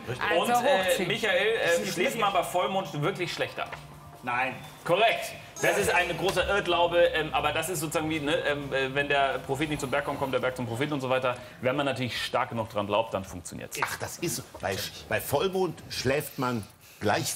Ja. Und es kommen, es kommen auch nicht mehr Kinder zur Welt. die ganze Zeit- Aber Moment, was ist denn mit Aber Schlaf ist ja das Normalste. Werwölfen. Hier, da, da, warst du nicht Werwolf in deiner Sendung vielleicht oder so? Wieso? Mit dem Pudel gekreuzt, der Krieger. Ich habe so viele Bilder gesehen, ich habe das alles durcheinander gebracht. Absolut. Das war ich, ja.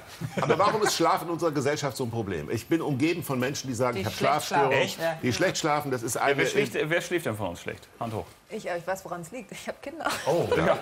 Aber das ist der Zustand der chronischen Ermüdung, das ist herrlich eigentlich. Äh, Also ne, die Naja. meisten Menschen schlafen tatsächlich schlecht oder ab und zu mal schlecht. Und das ist ein Riesenthema, aber wir machen halt auch alles falsch, was man falsch machen kann. Gib mal ein paar Nachts Tipps. guckt man aufs Smartphone. Dieses blaue Licht sorgt für Alarmsignale im Kopf. Das, Ah. Also das wirklich, das durchfräst die Augen direkt ins Großhirn und tak, tak, tak, schon bin ich wach. Dann äh, schalten die Leute abends nicht ab. Auch ein kleines Abendgebet kann mal helfen. Einfach zur Ruhe kommen. Abends das Licht zu Hause ein bisschen dimmen. Nicht nur diese grellen LED-Lichter, sondern wirklich ein bisschen runterkommen. Vielleicht noch vorher ein bisschen äh, sozusagen sich bewegen und so weiter. Einfach mal wirklich den Tagesrhythmus zulassen. Wir sind die einzigen Säugetiere, die sich selber vom Schlaf abhalten. Das macht kein Tier auf der Welt. Aber die, die Menschen sagen, oh komm, hier muss noch ein bisschen hackeln. Man kann es auch übertreiben. Katzen verschlafen äh, äh, zwei Drittel ihres Lebens. Das wäre auch schade, oder?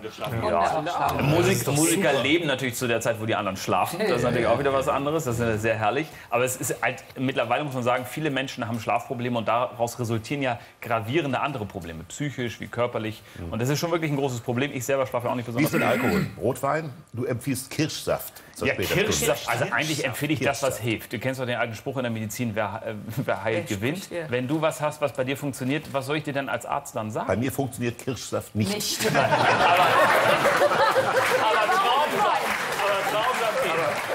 Der gute Rotwein. Naja, also ich werde jetzt nicht den Fehler machen, als Arzt im Fernsehen Alkohol empfehlen, aber ein Glas Wein am Tag ist äh, völlig legitim. Ja. Ein Glas. Hier, ah, ja, nicht, Aber die Privat- ja, genau. Und- Eine Flasche ist natürlich auch ein Glas, Und als, Privat von einem Weinglas. als Privatpatient habe ich dann. Nein, ja keine Flasche. 2,3-fache Dosis dann. Ich glaube, du arbeitest ja in, in, also in Schichten. Ne? Was ist das Schlimmste? Was deine, deine schlimmste Schicht? Die schlimmsten Schichten sind in, diese, in der ARD-Woche, wo wir sozusagen äh, das Morgenmagazin bedienen müssen und dann vielleicht am nächsten Tag in die Nachtschicht. Das heißt, ich schaffe es quasi in einer Woche einmal um die Welt zu fliegen, Jetlag-mäßig, ohne die Umwelt dabei zu belasten. Aber mal nicht. CO2-Footprint 1A. Ja, genau. Platz in Hamburg, Genau. bist aber trotzdem völlig Voll fertig. durch, ja. Aber es hängt doch auch davon ab, ob man Nacht- oder Tagmensch ist. Das gibt es doch schon. Ja, Also Menschen- Eule und so weiter, klar. Nee, Also ist es auch gibt- Quatsch. Nee, es gibt auch junge also, äh, ja- Ronaldo Ja, schläft, angeblich äh, am Tag fünfmal 90 Minuten soll helfen. Äh, Angela Merkel habe ich jetzt gehört, die schläft auch immer wieder kurz, dafür nachts nicht ganz so lang. Du, also wenn ich für mich rausfinde, was für mich funktioniert, ist ja alles wunderbar. Nur viele Menschen haben halt Probleme, die wachen nie erholt auf äh, und machen alles Mögliche tagsüber und richten den Arbeitsplatz ergonomisch ein. Dann gibt es irgendwie welche Sitzkissen fürs Auto und nehmen irgendwelche Tabletten und was ich, anstatt am Schlaf zu arbeiten. Und das kann man wirklich mit ganz reinem Hausverstand. Es ist doch, ich, ich bin fasziniert vom Thema Schlaf. Das war also mein kleines Hobby, mein Hobby. Ach, ich Schlafen. ein Hobby. Schlafen ist dein Hobby? nicht. Ja, mich damit zu beschäftigen. Und es gibt eine, äh, es hängt ja auch von der Schlafqualität ab. ne? Es gibt Leute, die, die, die trainieren luzides Träumen. Dieses, dass man permanent Das träumt und seinen. Traum steuert. Das Problem ist aber, ich habe mal von einer Frau gehört, die gesagt hat, sie hat seit drei Jahren nicht mehr geschlafen. Und dann ging sie in ein Schlaflabor und dann stellte man fest, sie schläft jede Nacht fünf, sechs Stunden, aber sie kommt nie in die Tiefschlafphase. Und sie ist immer in, diesem, in, diesem, äh, in dieser REM-Phase, dieser Traum, äh, dieser Traumphase und erholt sich dadurch nie, weil der erholsame Schlaf ist nicht der Traumschlaf, sondern ist der Tiefschlaf. Und wenn man zum Beispiel eben fünf Stunden schläft, man ist aber fünf Stunden da unten, ja, dann ist natürlich auch, ist man auch relativ erholt. Man geht nicht durch diese Ja, wobei das äh, Phasen. Wenn genau, die ganze also die Zeit Phasen ganz, ganz wichtig, weil das Immunsystem ohne Schlaf könnten wir gar nicht leben. Also äh, es gibt äh, Tierstudien, ähm, dass Tiere versterben, wenn sie dem Schlaf entzogen werden. Und das ist tatsächlich auch eine Foltermethode, eine sogenannte weiße Folter, weil man die Folgen ja nicht sieht. Es sind keine Narben, die man sieht, aber es hinterlässt unfassbare Schäden, insbesondere bei den körpereigenen Abwehrkräften. Die fallen regelrecht zusammen und man stirbt an banalsten Infektionen. Also der Schlaf ist für uns ganz essentiell. Haben wir auch sehr schön mit äh, Supersportlern bei uns in der Sendung dargestellt. Auf die wird dann geschossen mit einer Tenniskanone und die müssen dann alles verteidigen. Es wird herrlich. Das schöne Sachen. Ja. Wir haben noch eine weitere Sache vorbereitet, denn du kannst uns einmal kurz zeigen, was Rauchen tatsächlich mit den Arterien äh, und, äh, Ja. und äh, Ja. Venen macht. Da würdest du dazu äh, einmal darüber gehen? Das schon alles da, wunderbar. Ähm, alles ich mache jetzt mal das. Ähm, wir, wir Ärzte tun ja immer so, als würden wir nicht rauchen, aber wer einmal hinten bei der Notaufnahme guckt, da, wo die Aschenbecher am vollsten sind, und mittlerweile muss man sagen, der Assistent muss ja nicht mehr so hinter dem Chefarzt hergehen. Früher war er noch in die Hand gehalten. Also ich habe noch Kliniken erlebt, da wurde im Arztzimmer knallhart geraucht. Und wer da nicht mitraucht, der war raus. Also ich versuche das jetzt mal. Wie so ein Schuljunge. Du Ich rauchst bin- nicht, ne? Nein, ich rauch nicht. Nee, eben. Aber ich zeige jetzt mal was. Und zwar, Du hast ein die bisschen Arzt, dann wie macht Yves der Spaß. Montand im Mund. Das ist richtig französisches Kino. Ja. Ja. So, pass auf. Guck mal, hier, jetzt kommt mein Hexenkittel. Das ist übrigens, wir haben heute eine große Diskussion gehabt, dass das Düsseldorfer Modell. Es gibt auch das Eppendorfer Modell, da sehe ich aber drin aus wie eine Frau. Conchita kann ich sehr empfehlen, das sieht sehr schick aus. So, jetzt bin ich Arzt und wir haben mitgebracht eine Arterie. So soll ja eigentlich ein Gefäß aussehen von innen. Ne? Richtig schön glatt und smooth, dass da die Blutzellen gerade so richtig durchrutschen und so weiter und so fort. Und was Rauchen macht, das sieht man jetzt so schön, dass wirklich der Rauch selbst macht mit dem sogenannten Endothel, also der Auskleidung des Gefäßes, das. Also greift das an. Wir schmeißen mal weg. So, kommen wir vor wie Helmut Schmidt. So, und dann ist es ja nicht nur das Rauchen. Jetzt kommt der hohe Blutzucker, der unsere Gefäße auch noch richtig, der unsere Gefäße auch noch richtig kaputt macht. Und dann kommt auch noch der Bluthochdruck und der macht dann das. Und was, lieber Hubertus, das ist jetzt für dich. Was viele dann falsch Hase. machen, ist natürlich, die denken dann, aha, aber ich, ich esse ja so viel und mir geht es ja so gut. Jetzt kommt das böse Cholesterin, äh, Cholesterin, das wir nämlich nicht brauchen. Das ist das Fett und damit repariert der Körper den ganzen Kladderadatsch und spachtelt das so richtig schön zu und sagt sich, boah, hier, guck mal, da wird schön alles fertig gemacht. Und das passiert in den Gefäßen überall. Das sind die leichten Schäden, die entstehen, die werden dann aufgespachtelt und dadurch entstehen diese Plaques. Das ist das, was unsere Gefäße dicht macht und was dann dafür sorgt, dass wir halt eben enge Gefäße haben und da kommt Schlaganfall, Herzinfarkt, äh, irgendwelche anderen Gefäßverschlüsse und das bringt uns letzten Endes um. Ja. Also nicht rauchen. Nicht rauchen. Nicht rauchen. Nicht rauchen. Das hast du uns sehr schön bildlich dargelegt. Und es gibt noch mehr lustige Experimente, die Dr. Wimmer in seiner Medizinsendung zeigt. Und wir gucken uns mal an, was da noch alles getestet wird. Was passiert eigentlich in unseren Venen und wie kommt es zu einer Thrombose? Smoothies. In der Cola sind ungefähr 10 Würfelstück Zucker und im Smoothie etwa 13. Hier in diesem Wasser sind Bakterien drin und ich denke, komm schnell. So schüttelt man das irgendwie alles noch so ein bisschen weg und dann haben sie das Problem. Überall, wo sie jetzt diese Flecken sehen, da sind quasi noch die Bakterien und der Dreck vorhanden.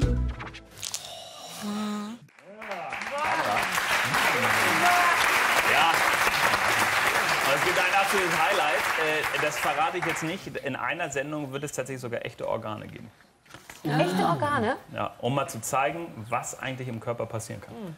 Okay. Also wir, wirklich, das ist enorm. Wir haben, durften die vorbereiten und ich decke die dann auf. Und dann schaut man sich die mal an und da sieht man drei Vergleiche und sieht mal, was wir uns eigentlich selber zufügen. Was Das- für Organe? Das, Das, Deine Leber. ja, das ist jetzt schon wieder Gefä zu... Keine Gefäße, Gefäße. Gefäße. Aber ich muss ehrlich sagen, ich war in dieser Ausstellung damals, äh, Körperwelten. Und als ich da eine, also ich bin kein Raucher, aber als ich dachte mir, wäre ich jetzt Raucher und ich würde mir so eine Raucherlunge angucken, wie, wie, das sieht ja wirklich ekelhaft Ja, aus. aber damit, wir dürfen jetzt mal den ganzen Rauchern nicht Unrecht tun. Rauchen ist eine anerkannte Suchtkrankheit. Ja. Ähm, Das ist eben ein Problem, dass man vom Rauchen auch nicht so einfach loskommt. Und deswegen geht es nicht darum zu sagen, böse, böse Raucher. halt Nein, eben aber das ist schauen, zumindest was, was einen helfen. echt überzeugt. Ja, Aber also, es gibt doch, also, ich war mal in so einer, in so einer Vorführung, da, da, da hieß es, also, da war eine, eine Lunge, äh, kohlrabenschwarz und braunfleckig, das war die Lunge von einem Raucher. Und im Glas daneben war die Lunge von einem 25-jährigen Leistungssportler, der noch nie in seinem Leben geraucht hatte. Die sah natürlich anders aus. Aber dann hat einer gefragt aus der hinteren Reihe, wenn der 25-jährige Leistungssportler so gesund war und nie geraucht hat, was macht seine Lunge dann in diesem Glas? Das ist, äh, vielen Dank. Das ist das gute alte Helmut Schmidt-Argument. Also diese Diskussion in Hamburg führt man die insbesondere Barmbek-Wandsbek in der Ecke mit jedem Patienten, der sagt, mein Opa hat aber. genau, So, und ja. genauso fängt es an. Natürlich kann ich vom Bus überfahren werden. Mir geht es ja auch gar nicht darum, ich möchte niemandem diktieren, was er zu tun hat. Es muss einfach nur eine bewusste Entscheidung sein. Ich muss wissen, wenn ich etwas mache, hat das eine gewisse Konsequenz. Und das wissen ja viele Menschen nicht. Die, die verstehen gar nicht, was, was ist das eigentlich? Also zum Beispiel gibt es so viele Themen. Impfen, Rauchen, Alkohol, äh, äh, Handy am Steuer und so weiter und so fort. Es gibt auch viele Dinge, natürlich, ich, ich ernähre mich wunderbar und dann äh, trifft mich der Blitz. Gibt es natürlich, aber es geht ja darum, dass ich für mich eine bewusste Entscheidung treffen kann und dann auch mit den Wir Konsequenzen werden leben doch immer, immer älter. Das Essen soll angeblich ungesünder sein und das der Alkohol. und- Aber ich, ich sehe nur Menschen, die immer älter werden. Also ich Ja. nicht. Ich, ich werde nicht älter. Du wirst auch. Nein, natürlich nicht. ja, es geht ja auch nicht darum, es geht ja nicht darum, äh, das Leben um jeden Preis mit Jahren zu füllen, sondern ich sehe auch, die, die Jahre mit Leben sind viel Ja, schöner. absolut. Also ähm, das äh, geht ja auch dahin, dass man überlegt, wie möchte man eigentlich sein Leben beenden? Also wenn ich Gesund. mir überlege, ja, oder, oder wo, möchte ich, wo möchte ich die Augen zumachen? Ist das Mhm. zu Hause? Ist das, wie viele Menschen ich in den Tod begleitet habe in der Notaufnahme? Wo man sich denkt, die, die gehören da gar nicht hin. Ich bin in den Rettungswagen reinmarschiert, habe die Angehörigen angerufen und gesagt, Sie sorgen jetzt dafür, dass im Altenheim jemand da ist. Ihr Vater, der gehört zurück, der ist im Sterbeprozess. Der soll nicht hier in einem Z fensterlosen Zimmer sterben. Ich kann ihm gar nicht das bieten, was ein Mensch würdevoll verdient hat. Also, wir freuen uns, wirklich noch ein bisschen schlauer zu werden, als wir ja sowieso schon sind. Deswegen viel Spaß mit dem Medizinquiz. Dr. Ist bei uns. Ich sag ja immer, ein Arzt gehört in jede Sendung. Also was, ich, habe den, ich habe den ganz großen Verdacht, dass eine glückliche Ehe gesund ist. Weil unsere nächsten Gäste sind seit 1983 verheiratet. Also sind 33 Jahre, wenn ich richtig rechne, jetzt ein Ehepaar. Und äh, sagen immer noch, das ist ihr neues Programm, Hurra, wir lieben noch. In Yes. Anlehnung an Hurra, wir leben noch von Ernst Toller, glaube ich. Hurra, wir lieben noch. Begrüßen Sie. Ich finde immer schön, wenn ihr da seid, meine Damen und Herren, Margie Kinski und Bill Mockridge. Herzlich willkommen. Ihr Lieben, ihr Wunderbaren, ihr habt sechs Söhne, der letzte ist gerade ausgezogen. Ja. Wer von euch beiden hatte damit die größeren Probleme? Also ich habe mich gefreut. Da habe ich gesagt, schön. so, jetzt haben wir endlich Platz und Ja, ich habe mich eigentlich auch gefreut, aber ich saß dann zu Hause und habe gedacht, so jetzt ist der Vater, die Vaterrolle ist irgendwie vorbei. Ja, kenn ich. Und der, ja, der Erzieher Ja. ist und was machst du jetzt da? Und ich hatte tatsächlich so ein paar Stunden, wo ich gedacht habe, genüge ich meine Frau oder bin ich, kann ich noch Ehemann sein? Und dann äh, kam ich die Treppe hoch, das war ähm, abends, und dann hörte ich eine Stimme aus dem Schlafzimmer. Hast du überall zugemacht? Ja. Und ich dachte, ja, nee. Ja. Ich gehe noch mal runter und mache alles zu. Plötzlich wurde so der Bodyguard in mir wach.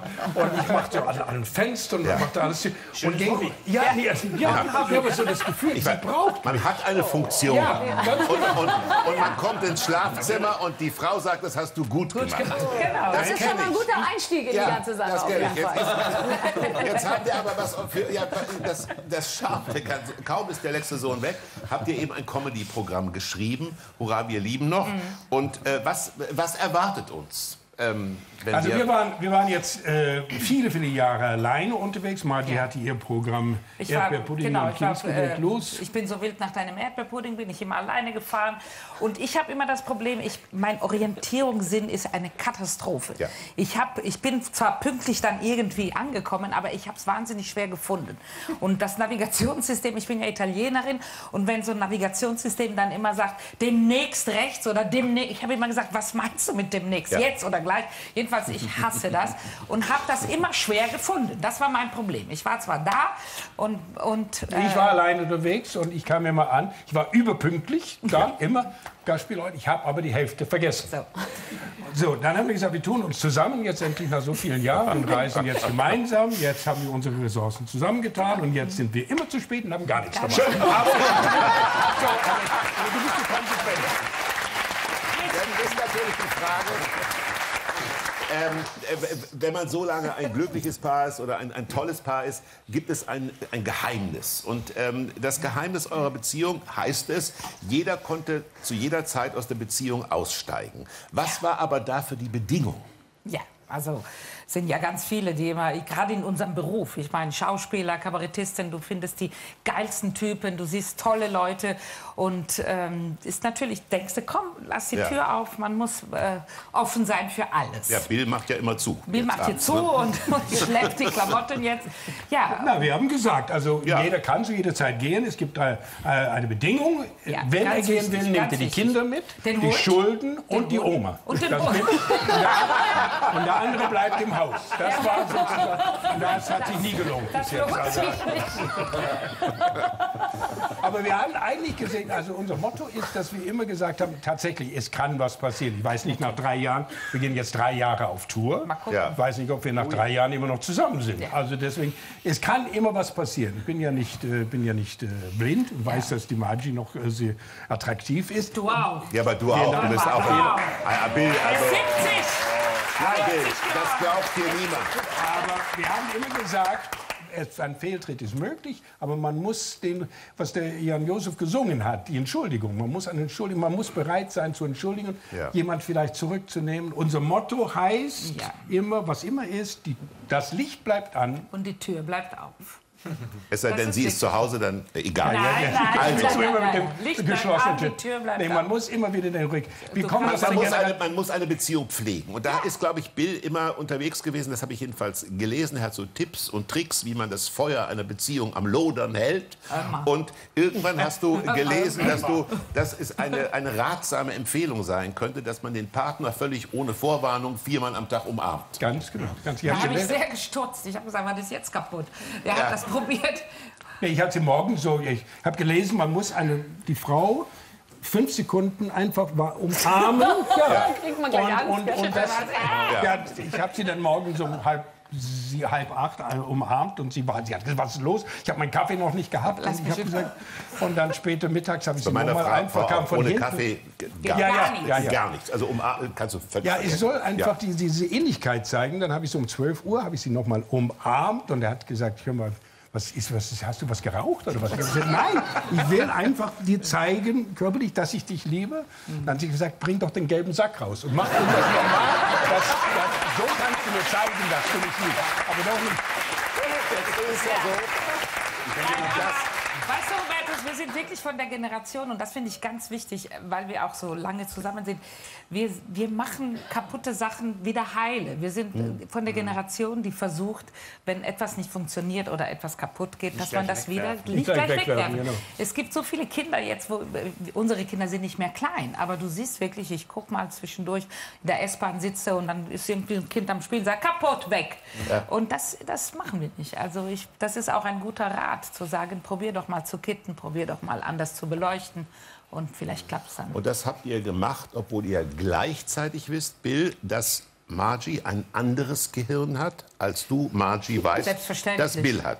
Wie würdest du, Bill, zunächst Margies Gehirn beschreiben, Ja. wenn es, also, ja, Es ist unfassbar. Da ist einfach so viel los und so viel gleichzeitig. Ich meine, viele Frauen sind so. Das, ich, weiß, ich weiß das schon, dass das, diese Multitasking da im Gehirn. Aber es ist wirklich, ich stelle mir das vor, so wie, wie so eine Lichterkette nach Weihnachten. Da drin in die, da sind so 18 Kilometer Kabelsalat und alles ist miteinander verbunden. Da ist also was mit die, der Hund ist verbunden mit der NDR Talkshow heute Abend. Das ist verbunden mit der Oma. Das ist verbunden mit den Kindern, mit dem Haus, mit dem Bofrostmann. Das läuft alles gleichzeitig. Ja. Wirklich Gleichzeitig. Und sie hat, deswegen, alles brennt. Und deswegen weiß ich, dass, weil alle diese Lichter zeigen, was, was falsch ist. Also was, was, das brennt, weil sie sich an irgendwas Findet. erinnert, was Ja. ich gemacht habe. Also ich habe vor vielen Jahren ein Kind an der Raststätte vergessen. Ja, habe ich ein ganzes, ein bei- ganzes dieses- Programm bei sechs Söhnen kommt Ja. das mal vor. Aber dieses Licht leuchtet bis Helgoland. Also ich habe vor vielen Jahren auch beim, beim Aufräumen habe ich eine alte Sch- äh, Handtasche von ihr auf den Sperrmüll geschmissen. Das war nicht aufräumen, du wolltest ausmüllen, sag ehrlich. Ja, aber und ich habe das nicht, ich habe das Ende nicht gehört. Sie hat mich sowas von zusammengestaucht. Ja. Und heu, das war vor 17 Jahren. Heute, wenn ich irgendwas mache, sagt sie, wie konntest du die Blumen wegschmeißen? Die hättest du noch tagelang Ja. getan. Ja. Mein Gott, genauso wie die Handtasche damals. Ich sag, das war vor 17 Jahren. Sie, das vergesse ich nicht, dass das, das Licht brennt bei mir. Aber wie würdest du umgekehrt sein Gehirn Sein? Hirn ist für mich ganz klar wie ein langweiliges Amt. Ja, das ist ein Amt. Also ich stelle mir das vor wie... Ja, nein, aber es ist wirklich wahr. Ich habe so eine Fantasie. Ich sehe ein Amt mit lauter Bürotüren. Und wenn ich sage irgendwie so, denk dran, Auto, Winterreifen, dann sehe ich den Bill, wie er ganz langsam Auto, okay, dann geht er in sein Amt, das ist ein Flur, und dann sucht er an jeder Tür, wo Auto ist. Da ist ja Auto, Schule, Kindergarten, äh, Kinder, was weiß ich. Und dann findet er das Büro Auto, dann holt er ganz langsam seinen Schlüssel. Er lässt sich immer Zeit. Mhm. Das macht mich wahnsinnig. Und dann probiert er ganz langsam dieses Büro aufzumachen. Dann steht er in dem Büro Auto und dann sucht er so, was war das? ADAC oder Flüssigkeit oder neue Öl oder Winterreifen. Dann kommt Winterreifen, dann wird das erledigt. Dann wird das Büro wieder zugemacht. Dann setzt sich der Bill in den Flur und wartet, bis das nächste kommt. Und ich sag dir, Hubertus, ich warte seit 33 Jahren auf Tag der offenen Tür.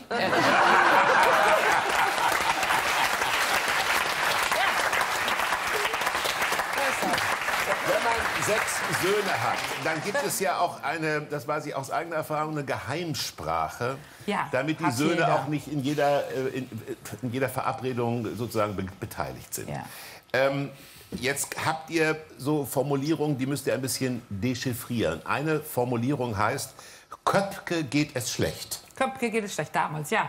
Das war ganz einfach. Es, äh, als die klein waren, wollten die natürlich immer Fernseh gucken, Fernseh gucken. Und als wir gesagt haben, hör mal, ist nicht, ähm, dann haben wir gesagt, hör mal, Köpke ist heute nicht so gut drauf. Ne? Der war für uns klar, war für uns Ah. klar heute gibt es kein Fernsehen für die, fertig.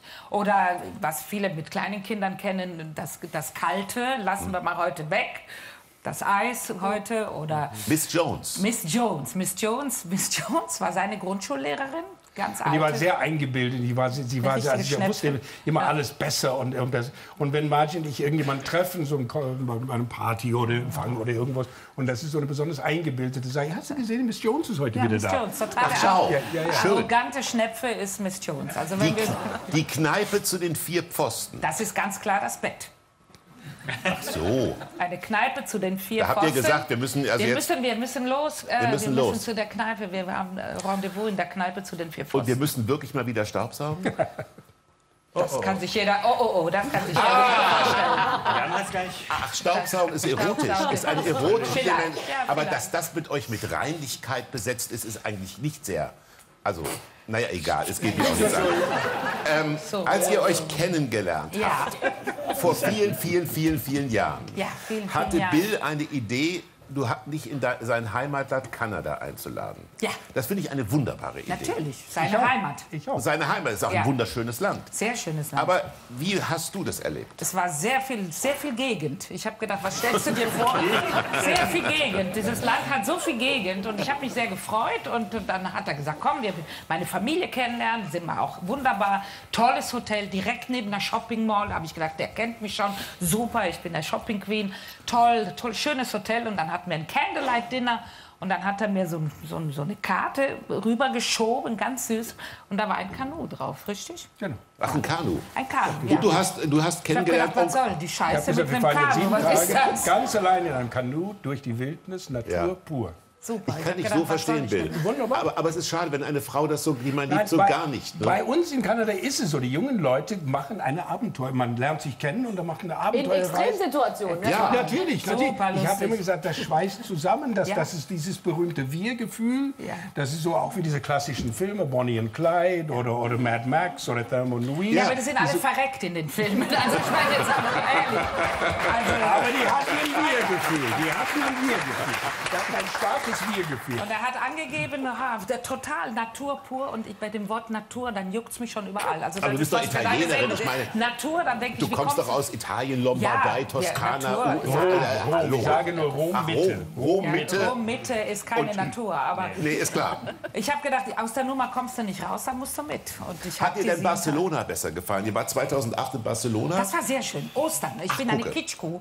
Ich wollte wirklich diese, diese Kreuze und, und die weinenden Madonnas und wunderbar. Und ähm, die große, ja, das werde ich nie vergessen, Barcelona, weil die großen Jungs, wir haben ja drei kleine und drei große. Also die drei großen und die drei kleinen. Und die drei großen haben gesagt, wir bleiben zu Hause. Und ich habe gesagt, das kommt überhaupt nicht in Frage. Und er. Und du warst alter- resolut, glaube ich. Ich Also war wenn sehr du sagst, es resolut kommt und nicht in er, Frage. alter 68er, Ja. sagt, komm, die müssen es lernen, sonst das Leben wird es ihnen richten. Ich ahnte böse. Das Leben wird es ihnen richten. Ha- Die haben, dieser Theo, unser Nummer zwei, hat gesagt, wir laden ein paar Leute ein. Ich habe gesagt, wir bleiben bitte bei ein paar Leuten. Und ich habe Ja. Nein gesagt. Und ich habe gesagt, so bei, solange es bei ein paar Leuten bleibt. Ja. Zum Schluss waren 400 Leute da anscheinend.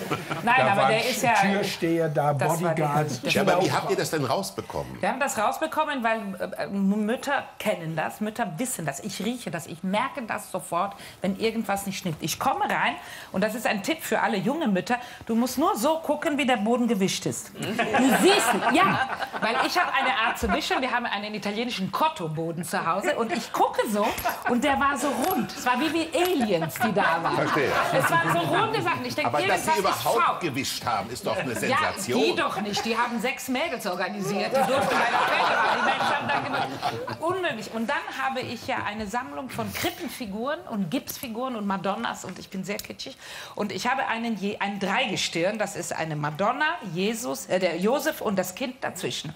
Und der Josef stand 30 Jahre so in unserem Esszimmer. Ich habe es sofort gesehen, er war so. es fehlten zwei Finger. Und die denken, wir sind bescheuert. Es fehlten zwei Es Finger. fehlten zwei Finger. Und ich habe erst mal den Boden gesehen und dann den Blick auf Josef. Josef steht so. Ich sage, Scheiße, was ist da?